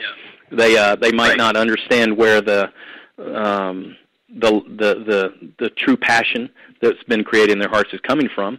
Um, but yeah, you know, TAT's a great organization. They have done a super job of bringing uh, raw, basic awareness to the trucking industry and really the transportation industry. Um, they've done a great job of going out and getting sponsors, um, you know, and getting uh, uh, pilots and Flying J's and Loves and you know some really big sponsors across the country. They do a great job at that. So they're taking they're they're handling while they might not be faith based, they are handling a lot of the workload for me. So I'm not complaining at all. You know?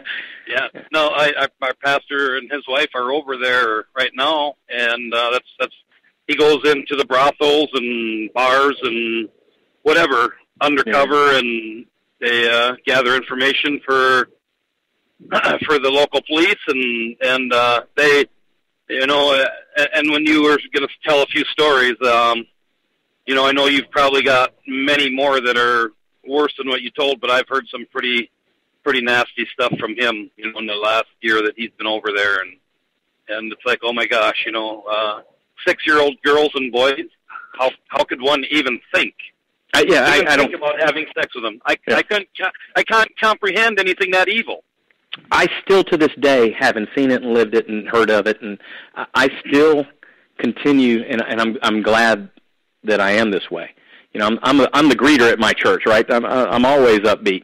Um, I just Yep. cannot fathom this kind of evil. I just can't. Uh, you know, human trafficking. Uh, we talked about the labor trafficking, trafficking and sex trafficking, but but organ trafficking within the umbrella of human trafficking is very real. Um, uh, that that couple, first couple I met with, they were in uh, the Marriott down in uh, Nicaragua, and a Russian was buying under the guise of taking these children, and uh, the the promise was we're going to take your child and send your child to America and get it adopted into a great life. And so they were buying nine-year-olds and ten-year-olds for five hundred dollars apiece right there in the hotel lobby of the Marriott. He was wearing a, a professional suit under the guise of being an adoption agency. And um, this gentleman, his only sole purpose was as he would buy the children, they would take him away, kill them, put them, their organs into coolers, and fly them over to Russia and uh, sell them on the black market for $250,000 for a cooler of organs. Right? Wow. Who even? I, I, I, who came up with that business plan? Yeah. And not only who. I, I, I, so once you come up with a plan, okay, well you can find some criminal people that you know. I guess they can separate that stuff out. I don't know how, but who who was sitting around coming up? It, that had to be Satan himself. Exactly. Planned Parenthood. yeah, yeah, power Planned. There's another one. Who came up with that one? Yeah. I'm sorry. I hope this ain't being recorded. right. yeah. Oh my goodness. Oh my goodness. Yeah. But but that's the kind of it, it. It's just evil in a proportion. You know, I, I don't get it. I, I you know, I, listen. I was born in Atlanta, Georgia, so I, I I grew up a Southern man. My dad still opens doors for his his my mother, and I still open doors for my wife, and I expect suitors to open doors for my daughter. You know, uh, to think that that a man could take a female and and allow her to be raped ten to fifteen times a day, so that he can continue to make a thousand dollars a day off of her. I, I don't I don't get that, not on any level. It, it, it just I don't. Um, Nope. You know, I just go into neutral on that. I, I, in fact, I can't understand it so much it doesn't even make me mad because I just can't go there. Um, Yep. So, but but that's what we're up against.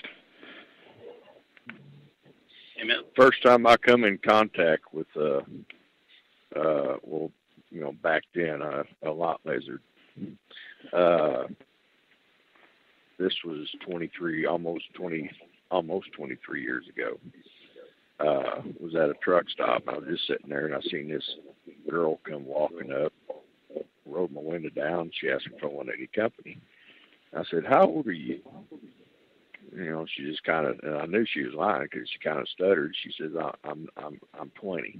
I said, "No, you're not." I said, "I said you need to get home." Well, she took off.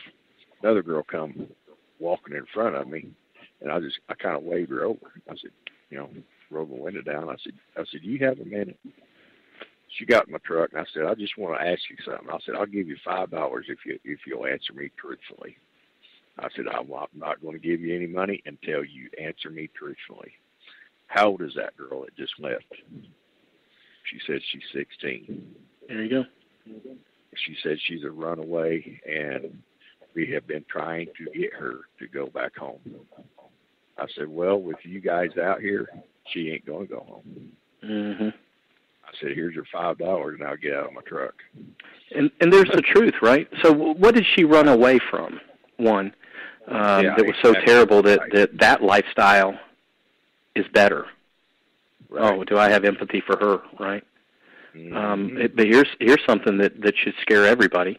Um, 100% of runaways, 100% of runaways are um, introduced to trafficking or traffickers within the first 48 hours. 100%. Where does that stat come from? Every girl that was rescued says within the first, you know, 2 days she was approached and hey, you look like you need shelter, food, care, something, a shower, right? And I've got a way that you you can have that. Come with me. And of those 100% of the girls, 30% of runaways are end up being trafficked. 30%. Now those are just percentages, and I hate to use stats, so but uh, let me make it a little more real. Here in Charlotte, we have 10,000 runaways each and every year. 10,000, which means that third, uh, 3,000 girls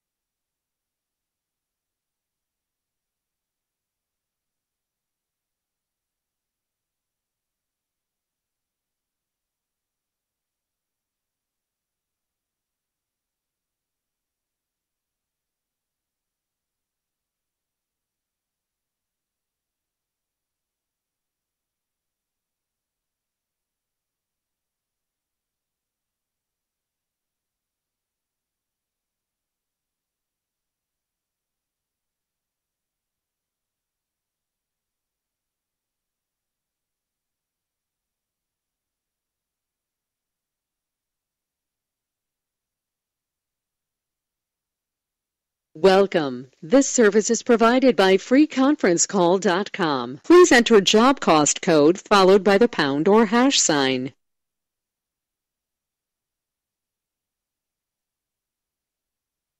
There are five participants in the conference. The recording has started. There, what I did, she, uh, I guess really the whole neighborhood averages half a million dollar homes. Muted. Talking about, you know, a, nasty place. This, this is suburbia at its best.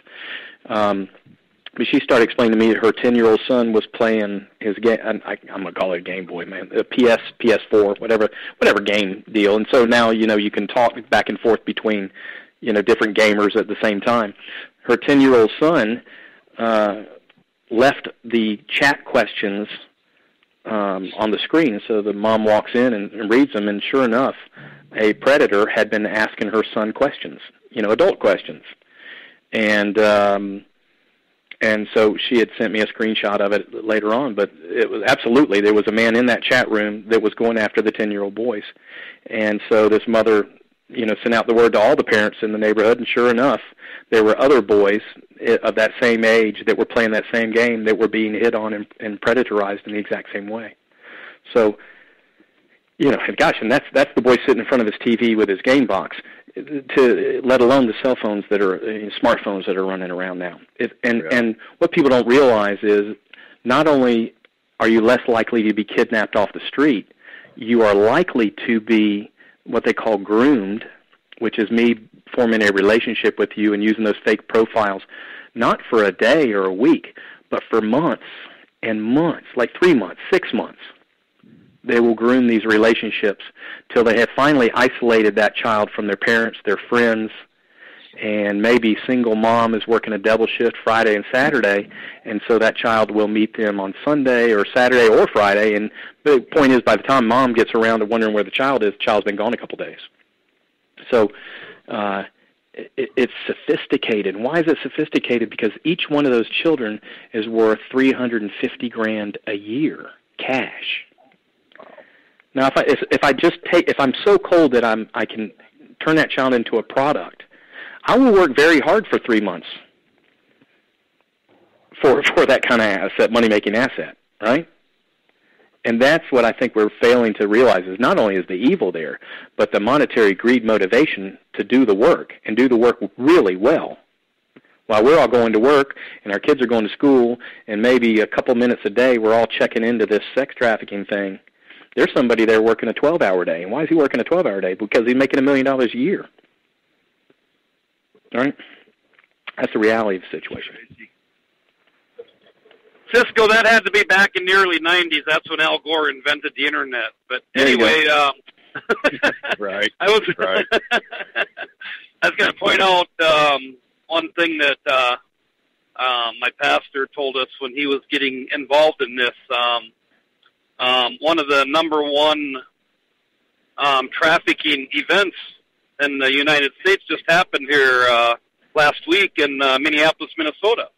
He said there is more sex trafficking, yeah, going on, and and you had mentioned Houston and the Super Bowl, and and, and that's when that that come back to me. Um, I have not heard any um, specifics. I live up in north central Minnesota about the amount of arrests, but uh, I, I go into the Twin Cities every every night, and uh, I heard I I mean the the the influx of traffic and people. There was 91 private jets uh, at our airport um, the weekend of the Super Bowl.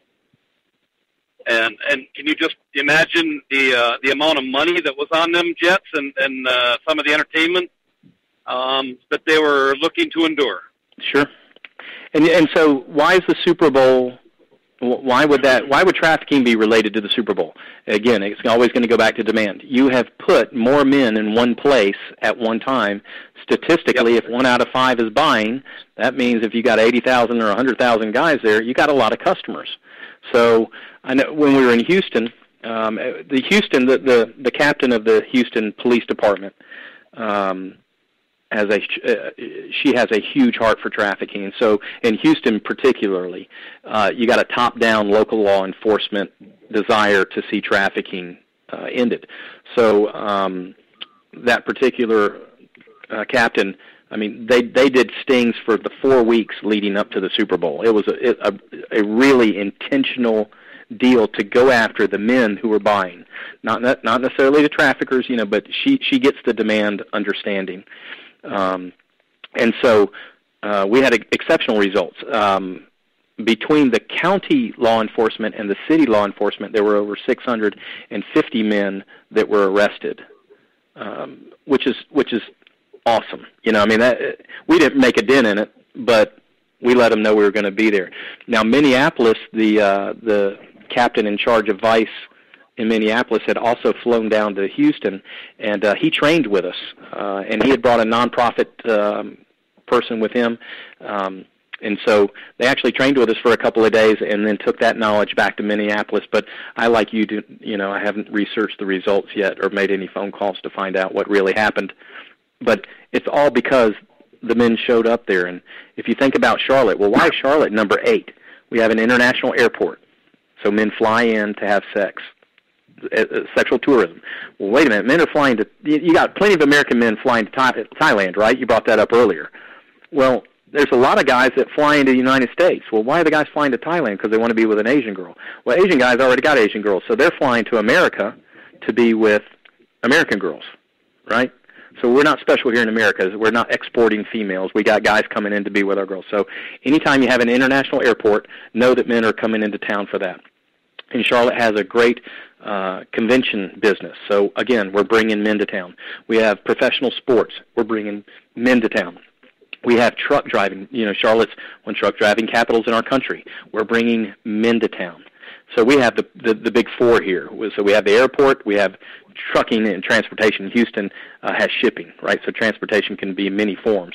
But transportation, international airport, professional sports, and and convention and tourism. If you would take those four, you can look at the top 10 cities in the country and know what those four would be. On the East Coast, you're talking about Atlanta.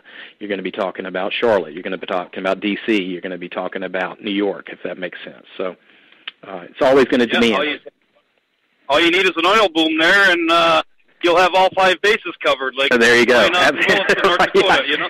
yeah.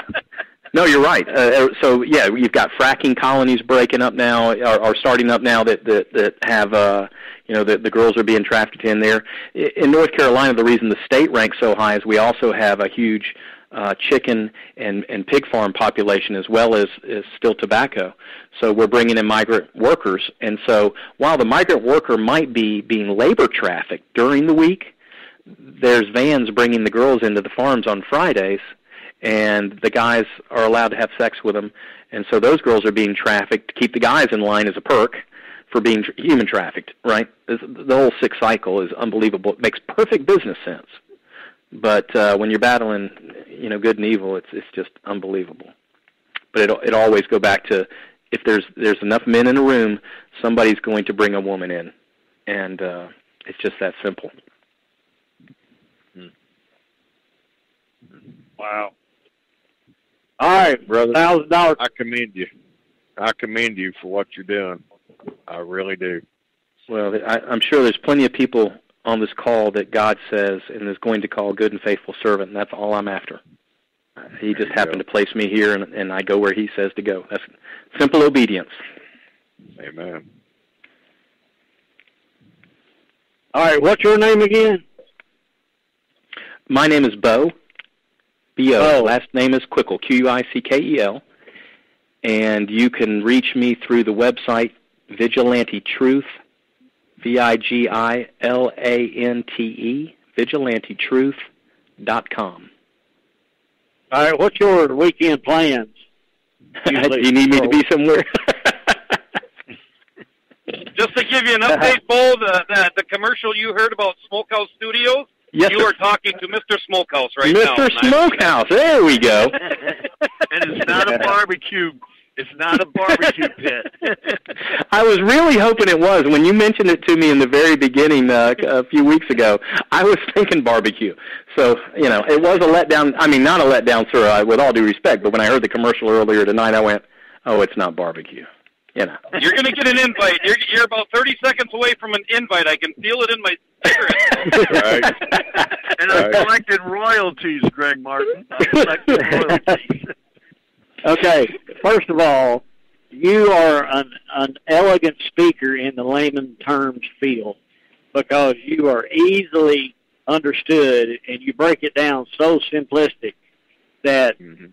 although I was totally aware of trafficking and what was involved, not that I, I'm a, I'm affiliated with any type of organization, but I'm aware of what's going on and I understand why and how it works.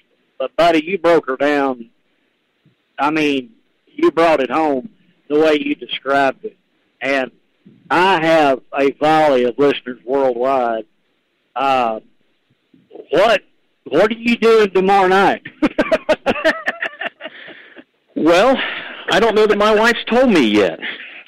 That's always the proper answer, isn't it? Um, They- they- There you go. if, if I can't do it tomorrow, tomorrow night, uh, I believe you do it every Saturday night. Is that correct?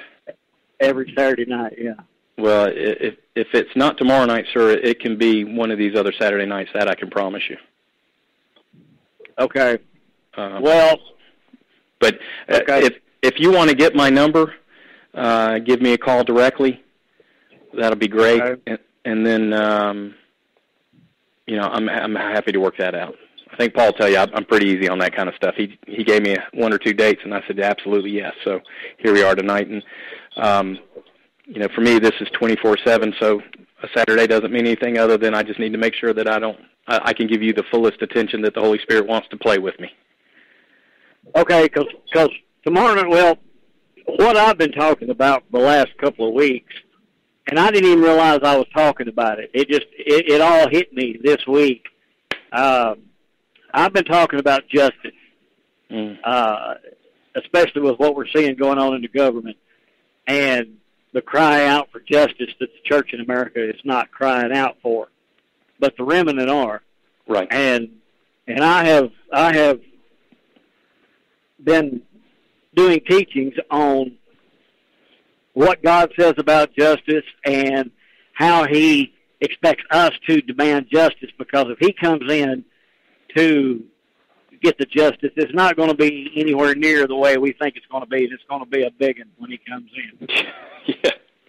Yes, sir. And uh, and so what we need to understand is we need to call for the justice in the the corrupt that we're seeing right now. Because if God steps in to intervene, it's gonna it's gonna come down on all of us.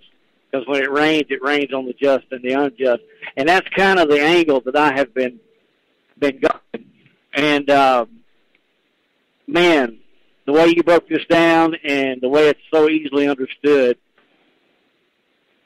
it's opened my eyes now what to look for and um, what to because you know I've I, ra- I raised a little niece because her dad died of cancer in my first marriage and uh, all through her growing up I mean I've told her what to watch for and when she was like eight or ten years old I would put her I would show her where all the wiring was in the back tail lights of a car. And then Mhm. I would teach I would teach her that if she was to ever get thrown in the trunk or anything, to start yanking those wires out because the car runs down the road with no brake lights tail lights, run the risk of getting pulled over. And and I would I would shut the trunk lid and lock her in it and have her feel around to find those wires. Of course, I was just telling her, you know, when I was a kid, we used to play in trunks and get locked in the trunk and, you know, uh, give them knowledge on some sort of defense. But, uh, but yeah, I mean, with, with what I'm talking about, I guess you could call it a series. I don't, I don't plan series. I don't plan things. I just, I guess I just speak what the Holy Spirit lays on me. But, but what you talked about tonight is just falling right along with, uh, especially what I'll be talking about tomorrow night. Because, so yeah, let's let's let's exchange numbers, and I'm not trying to to rob guests off of Brother Steve. I think I think he told me before he was hoping that would happen. So I, I don't think you're doing anything wrong there. Yeah, but uh, he has some good ones on all the time. You can, you can play the threefold uh, chord uh, card, Greg, if you want.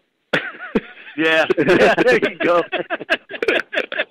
and uh, all right, let's let's exchange numbers, and and I, I know how it is because I mean I know I know your wife is a very giving woman to allow you time away from the family to do what you do. So I don't want to take time away from that either. Uh, but but yeah, I think I think you and I would have a a great time because it would be a back and forth, you know, uh, kind of a conversation roundtable kind of thing. Uh, it look just looking at my schedule for next week. Uh, I know next Saturday uh, evening I could do something, or next Saturday, um, which is what the seventeenth. So that's open. If we can't work it out for tomorrow, sir, I, I will make my seventeenth, you know, available for you. That I can do. Uh, but yeah, let's change some numbers, and if I can work it out any sooner, then I'd be more than happy to, because you know this is what my heart is, and and if I don't let it out, I will explode. Pretty sure. Well, yeah, and I have a lot of truck drivers. I mean, a lot of truck drivers that listen to what I do, simply because you know I'm in the field and that's how I got it off the ground. And they need to know this stuff because Right. when you when you start talking about t- tattoos and the way that they they they act when you when you talk, I have I have bumped into women like that Sure, you have. and and didn't even realize it until you brought it to my attention tonight. And, and this is the things that we need to know. This is the things that just society needs to know. Right. You know. Right.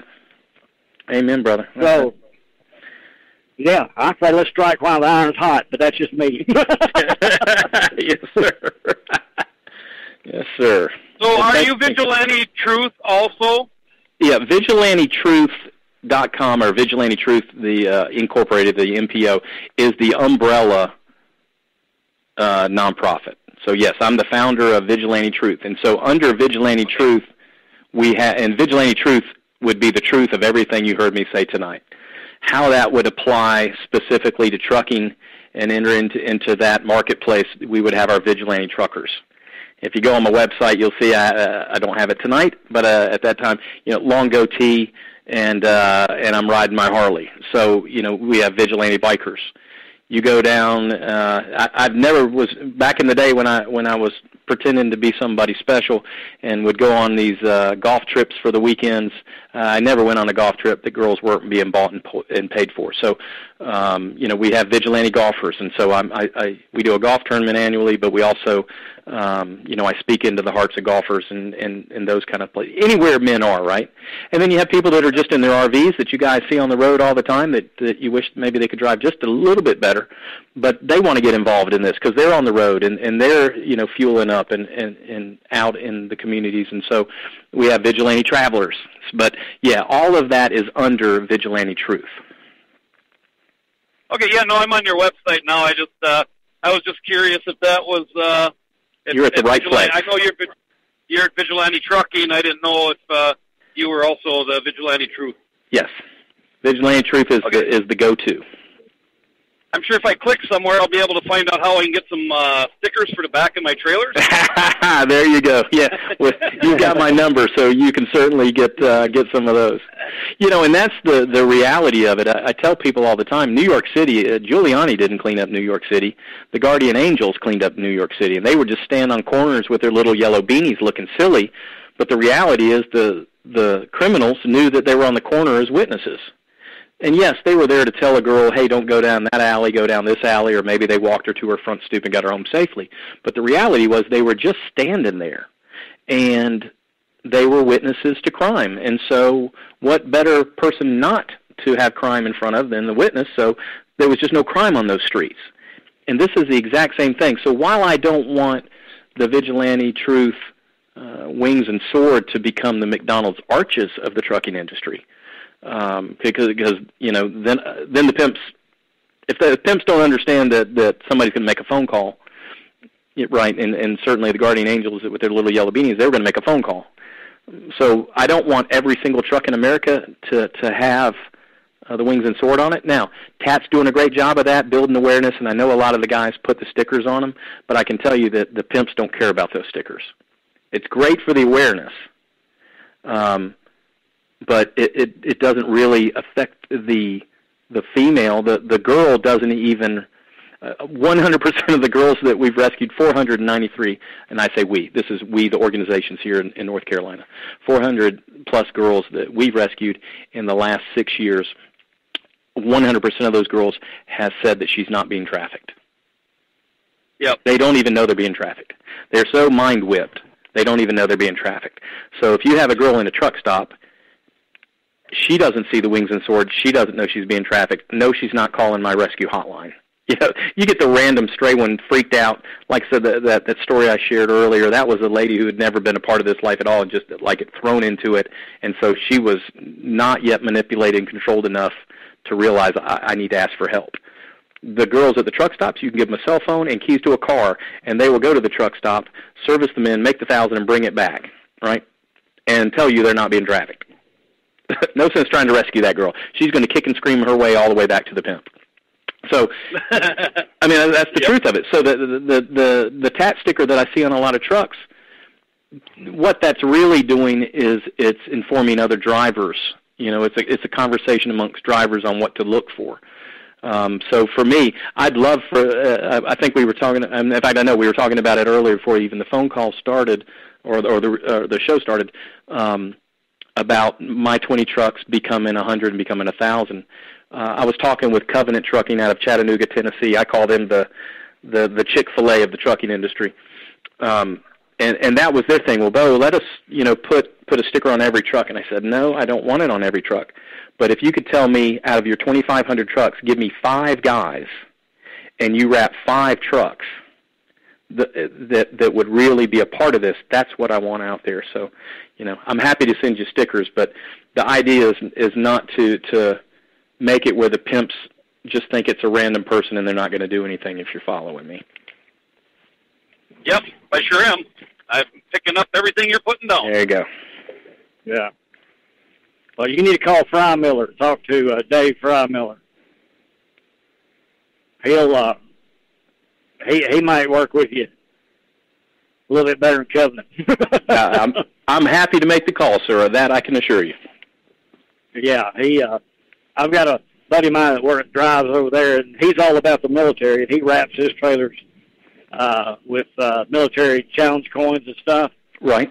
And uh, he's a good Christian man, and he basically, my friend Ralph, that uh, is doing the roll uh, ride for wreaths. He's uh, created this little nonprofit deal to uh, put wreaths on veterans' graves, but mm. um, Dave has, I mean, the money he's given Ralph just to do what Ralph needs to do is amazing. So he would he would be a good man to contact if you want to wrap some trucks. That's fantastic. Fantastic. Yeah. You know, the beautiful thing about the trucking company um, is that we take 100% of the profits of the trucking company and I use that to fight trafficking so that I can spend my time fighting trafficking instead of instead of you know selling hot dogs at the church on Saturdays and this fundraiser and that fundraiser and using all my volunteer talents and hours for the next fundraiser. So, um, but having said that, uh, we're always willing to accept more. You know, so it's uh, uh, yeah. I, I, any kind of contacts like that that you think somebody would open their heart to what we're doing, we're I'm certainly uh, willing to accept any help in any way. Amen. I'm going to pass your information on to my pastor. He's kind of got a two-year program right now over in Thailand, but um, maybe uh, when he's done with that little tour, maybe God will bring him back this way, and you and him can get hooked up, and he can uh, he can help be your your hotel Johnny or something. You know, yeah, your undercover. that would be awesome. Absolutely. He's, he's got he's got all kinds of technology from Exodus Road and he was telling me about some of it and what they do and how they do it. It's pretty cool. So yeah, it, it is kind of kind of fun. Uh, when I do work yeah. with law enforcement, they're always a little jealous of me um, because we don't have the rules that they have, and some of them are just blatantly stupid. When we're doing hotel outreach, I call it hotel outreach um, or hotel intervention. But when we're doing that, I run with a team of ten, and when I'm with law enforcement, uh, they'll run with a team of twenty-two you know, they just have so many rules. It takes that many people yep. to to pull off.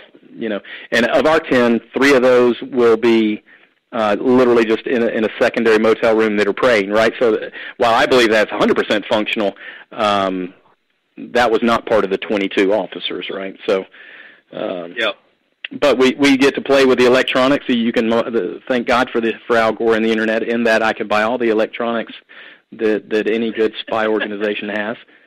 Um, yep. And, and the quality thereof has become uh, feasible to purchase. So, yeah, we we do have a lot of fun with it on that side. Yep. Amen. Yeah. It, uh, he uh, he was also a guardian angel on the the um, uh, subway, the, the the train in Illinois, the commuter train. Nice. In downtown Chicago, so he's he's always been an adventurous one. So. yeah, I like him already. like him already. Yeah. Well, he's a Packers fan. He likes the Cubs. I don't know if that strikes. Uh, that that changes things, but still, uh, you know, he's got a heart for God, and, and we'll just stop there. Amen. Yep. Yeah. That's right. amen. Amen. Well, brother, we've definitely enjoyed this evening. It's been enlightening, and I'm uh, I'm liking how the guys are grabbing a hold of this because this is something that we all have to be aware of.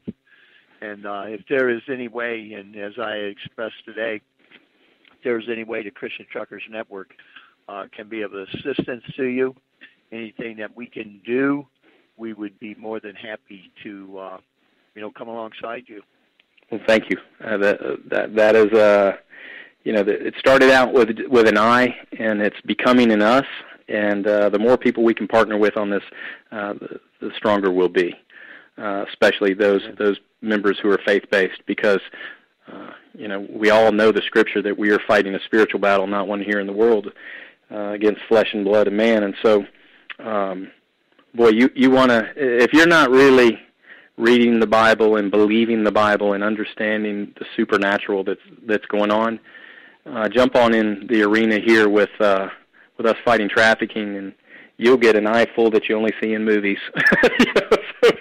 uh, the more prayer, you know, people say, "What can I do?" Pray. Now, a lot of times that's a too quick or too easy an answer, and nobody really prays. But I tell you, we are fighting on Satan's favorite playground, and he does not like us there, and he does not like us winning, and we need real, honest to God, on your knees, uh, just going after, you know, protection uh, a full hedge with, with no holes, um, conviction of hearts, uh, protection of hearts. Uh, you know, every time we do anything, any of these undercover operations and things of that nature, I have to spend you know days just getting that filth off of me, the spiritual filth off of me.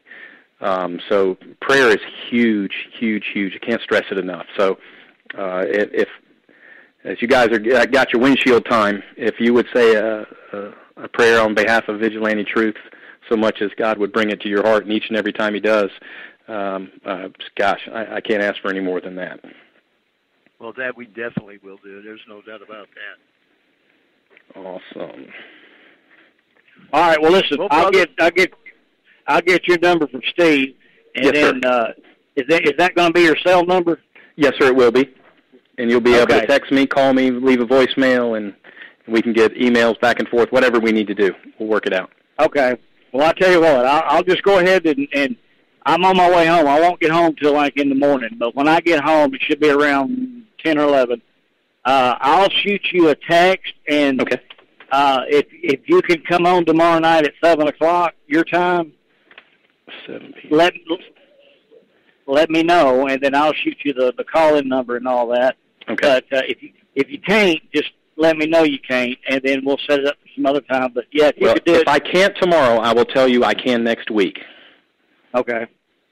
That, that I, I I will I will promise you that. So let's see. Uh, let's yes, let's do some texting in the morning. I, I will have some answers by then, and uh, okay.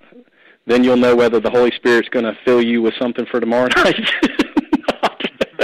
and, and and I'll be happy to follow that up. I I know that uh, the Holy Spirit doesn't miss out on any plan.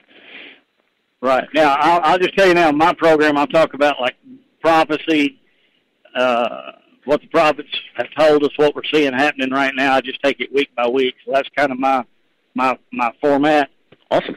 And so, I I have I have a whole show planned regardless. So don't don't worry about if you you know if you can't if you can't make it or something. I I can fill the gaps because I've got plenty of material. Very and, good. Uh, but yeah, yeah, just quick as we can get this done, I'd love it. This would be, I'm, in- I'm in agreement with that. yeah. So, Amen, amen. all right.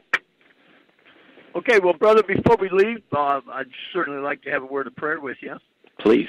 And uh, Father God, as we come before you this evening, Lord, it's been a very enlightening evening. And Lord God, we know that you didn't bring our brother into the midst with us for no reason.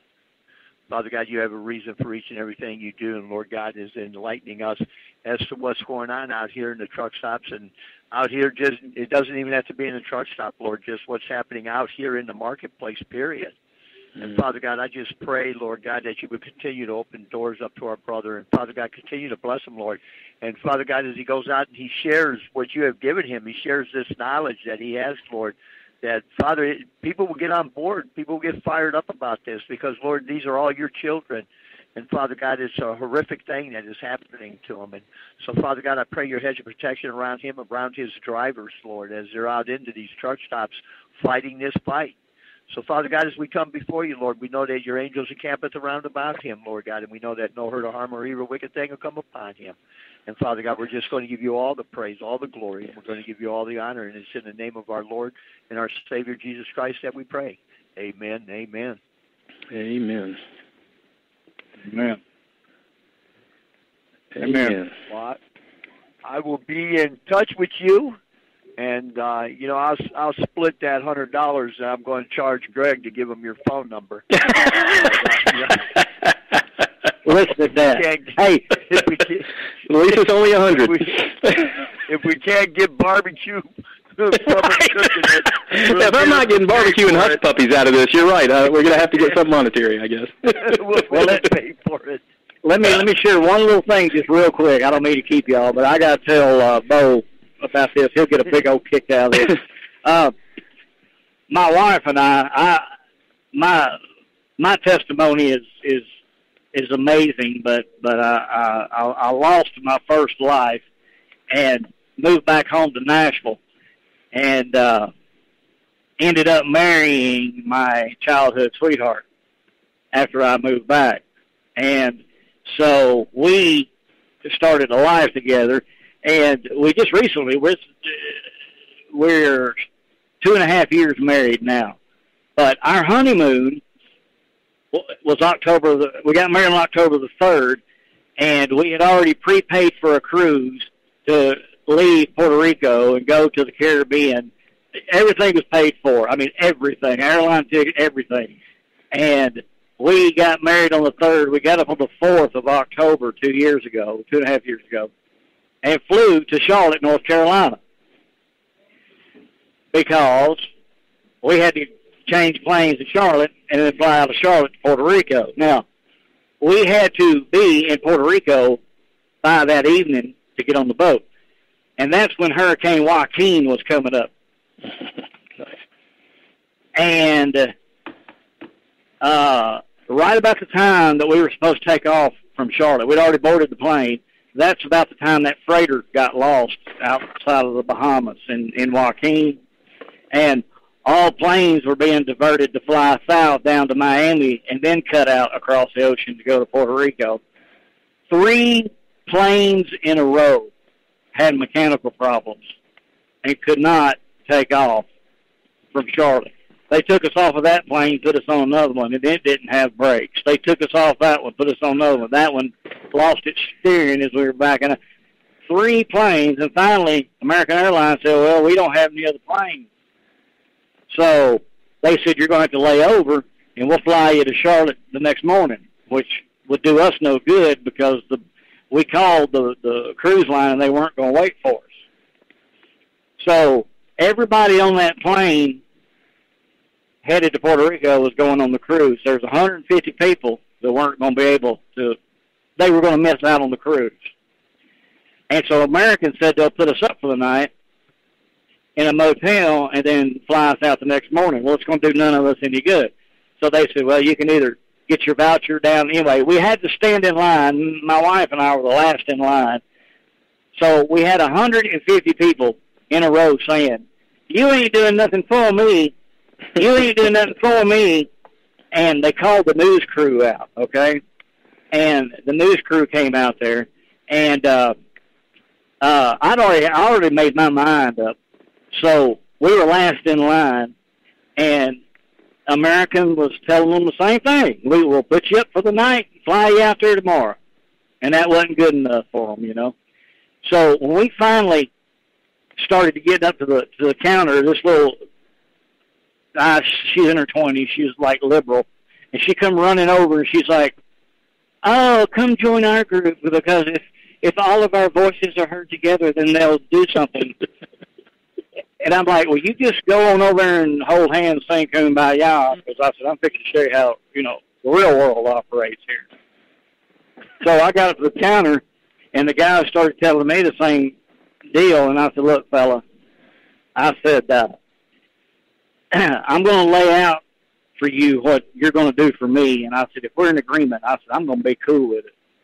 And he said, "What?" And I said, "Put us on a first class flight back to Nashville, Tennessee." And I said, "Buddy, I'll dance at your wedding." and uh, and he looked at me and he's like, "Really? Is that all you want?" I said, "Yeah." And his little fingers got to tapping, and uh, and he he said, "All right, plane leaves in an hour and a half." And he handed us two tickets, first class, and uh, so off to Nashville, we we flew back to Nashville. Missed out on the cruise and everything, but we had it insured. But the whole point of telling you that story is, I sat at that Charlotte airport for 12 hours dealing with that whole ordeal. And uh, two things: the Lord did not want a plane leaving that ground with me on it. That's Mm. first and foremost.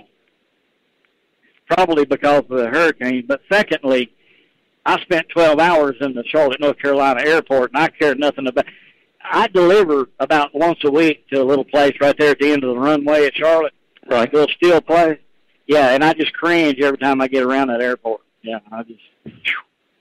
Yeah, you can you can feel, uh, especially if you're prophetic, uh, and I see that a lot in people who are prophetic. You can feel the atmosphere uh, of an area. Uh, Yeah. So you can feel the atmosphere in the, in that um, in that airport. Um, you know, when when God, he, for some reason, God calls me to Houston, Texas, a fair amount, and um, when when I land in in in Houston, from the entire time I'm there, it's like I'm just walking through mud. Uh, you just, Oh, yeah. I just feel it on me, and uh, and there's truck stops. Um, uh, yeah, we might be doing undercover. I might be just be personally traveling, but I'll stop at a truck stop to to get my own gas, even if it's in, in a car. But um, and I'll walk the outer perimeter of the of the truck stop and just pray over it, for the simple fact that there are some truck stops that are just so thick in darkness. Um, hmm and, and so those are the you know I would I just would tell you every time you feel that way in your spirit, um, you know just just pray it out. Uh, we I've Yeah. done some undercover works. Uh, sometimes when I, I get a truck in, I won't wrap it for a few weeks, and we'll take it down to truck stops and use it for undercover stuff. Um, I've been in truck stops that I can't spend you know a full three day weekend in to do undercover work. I, I just got to get out. I can just feel it, it. It's so intense that I'll just I, I'll back out. Um, so. Yeah, no, I, I know what you're talking about. I sure do. You, you sound a little Pentecostal, are you? Oh, I'm a 100% Pentecostal. Oh, yeah. Praise the Lord.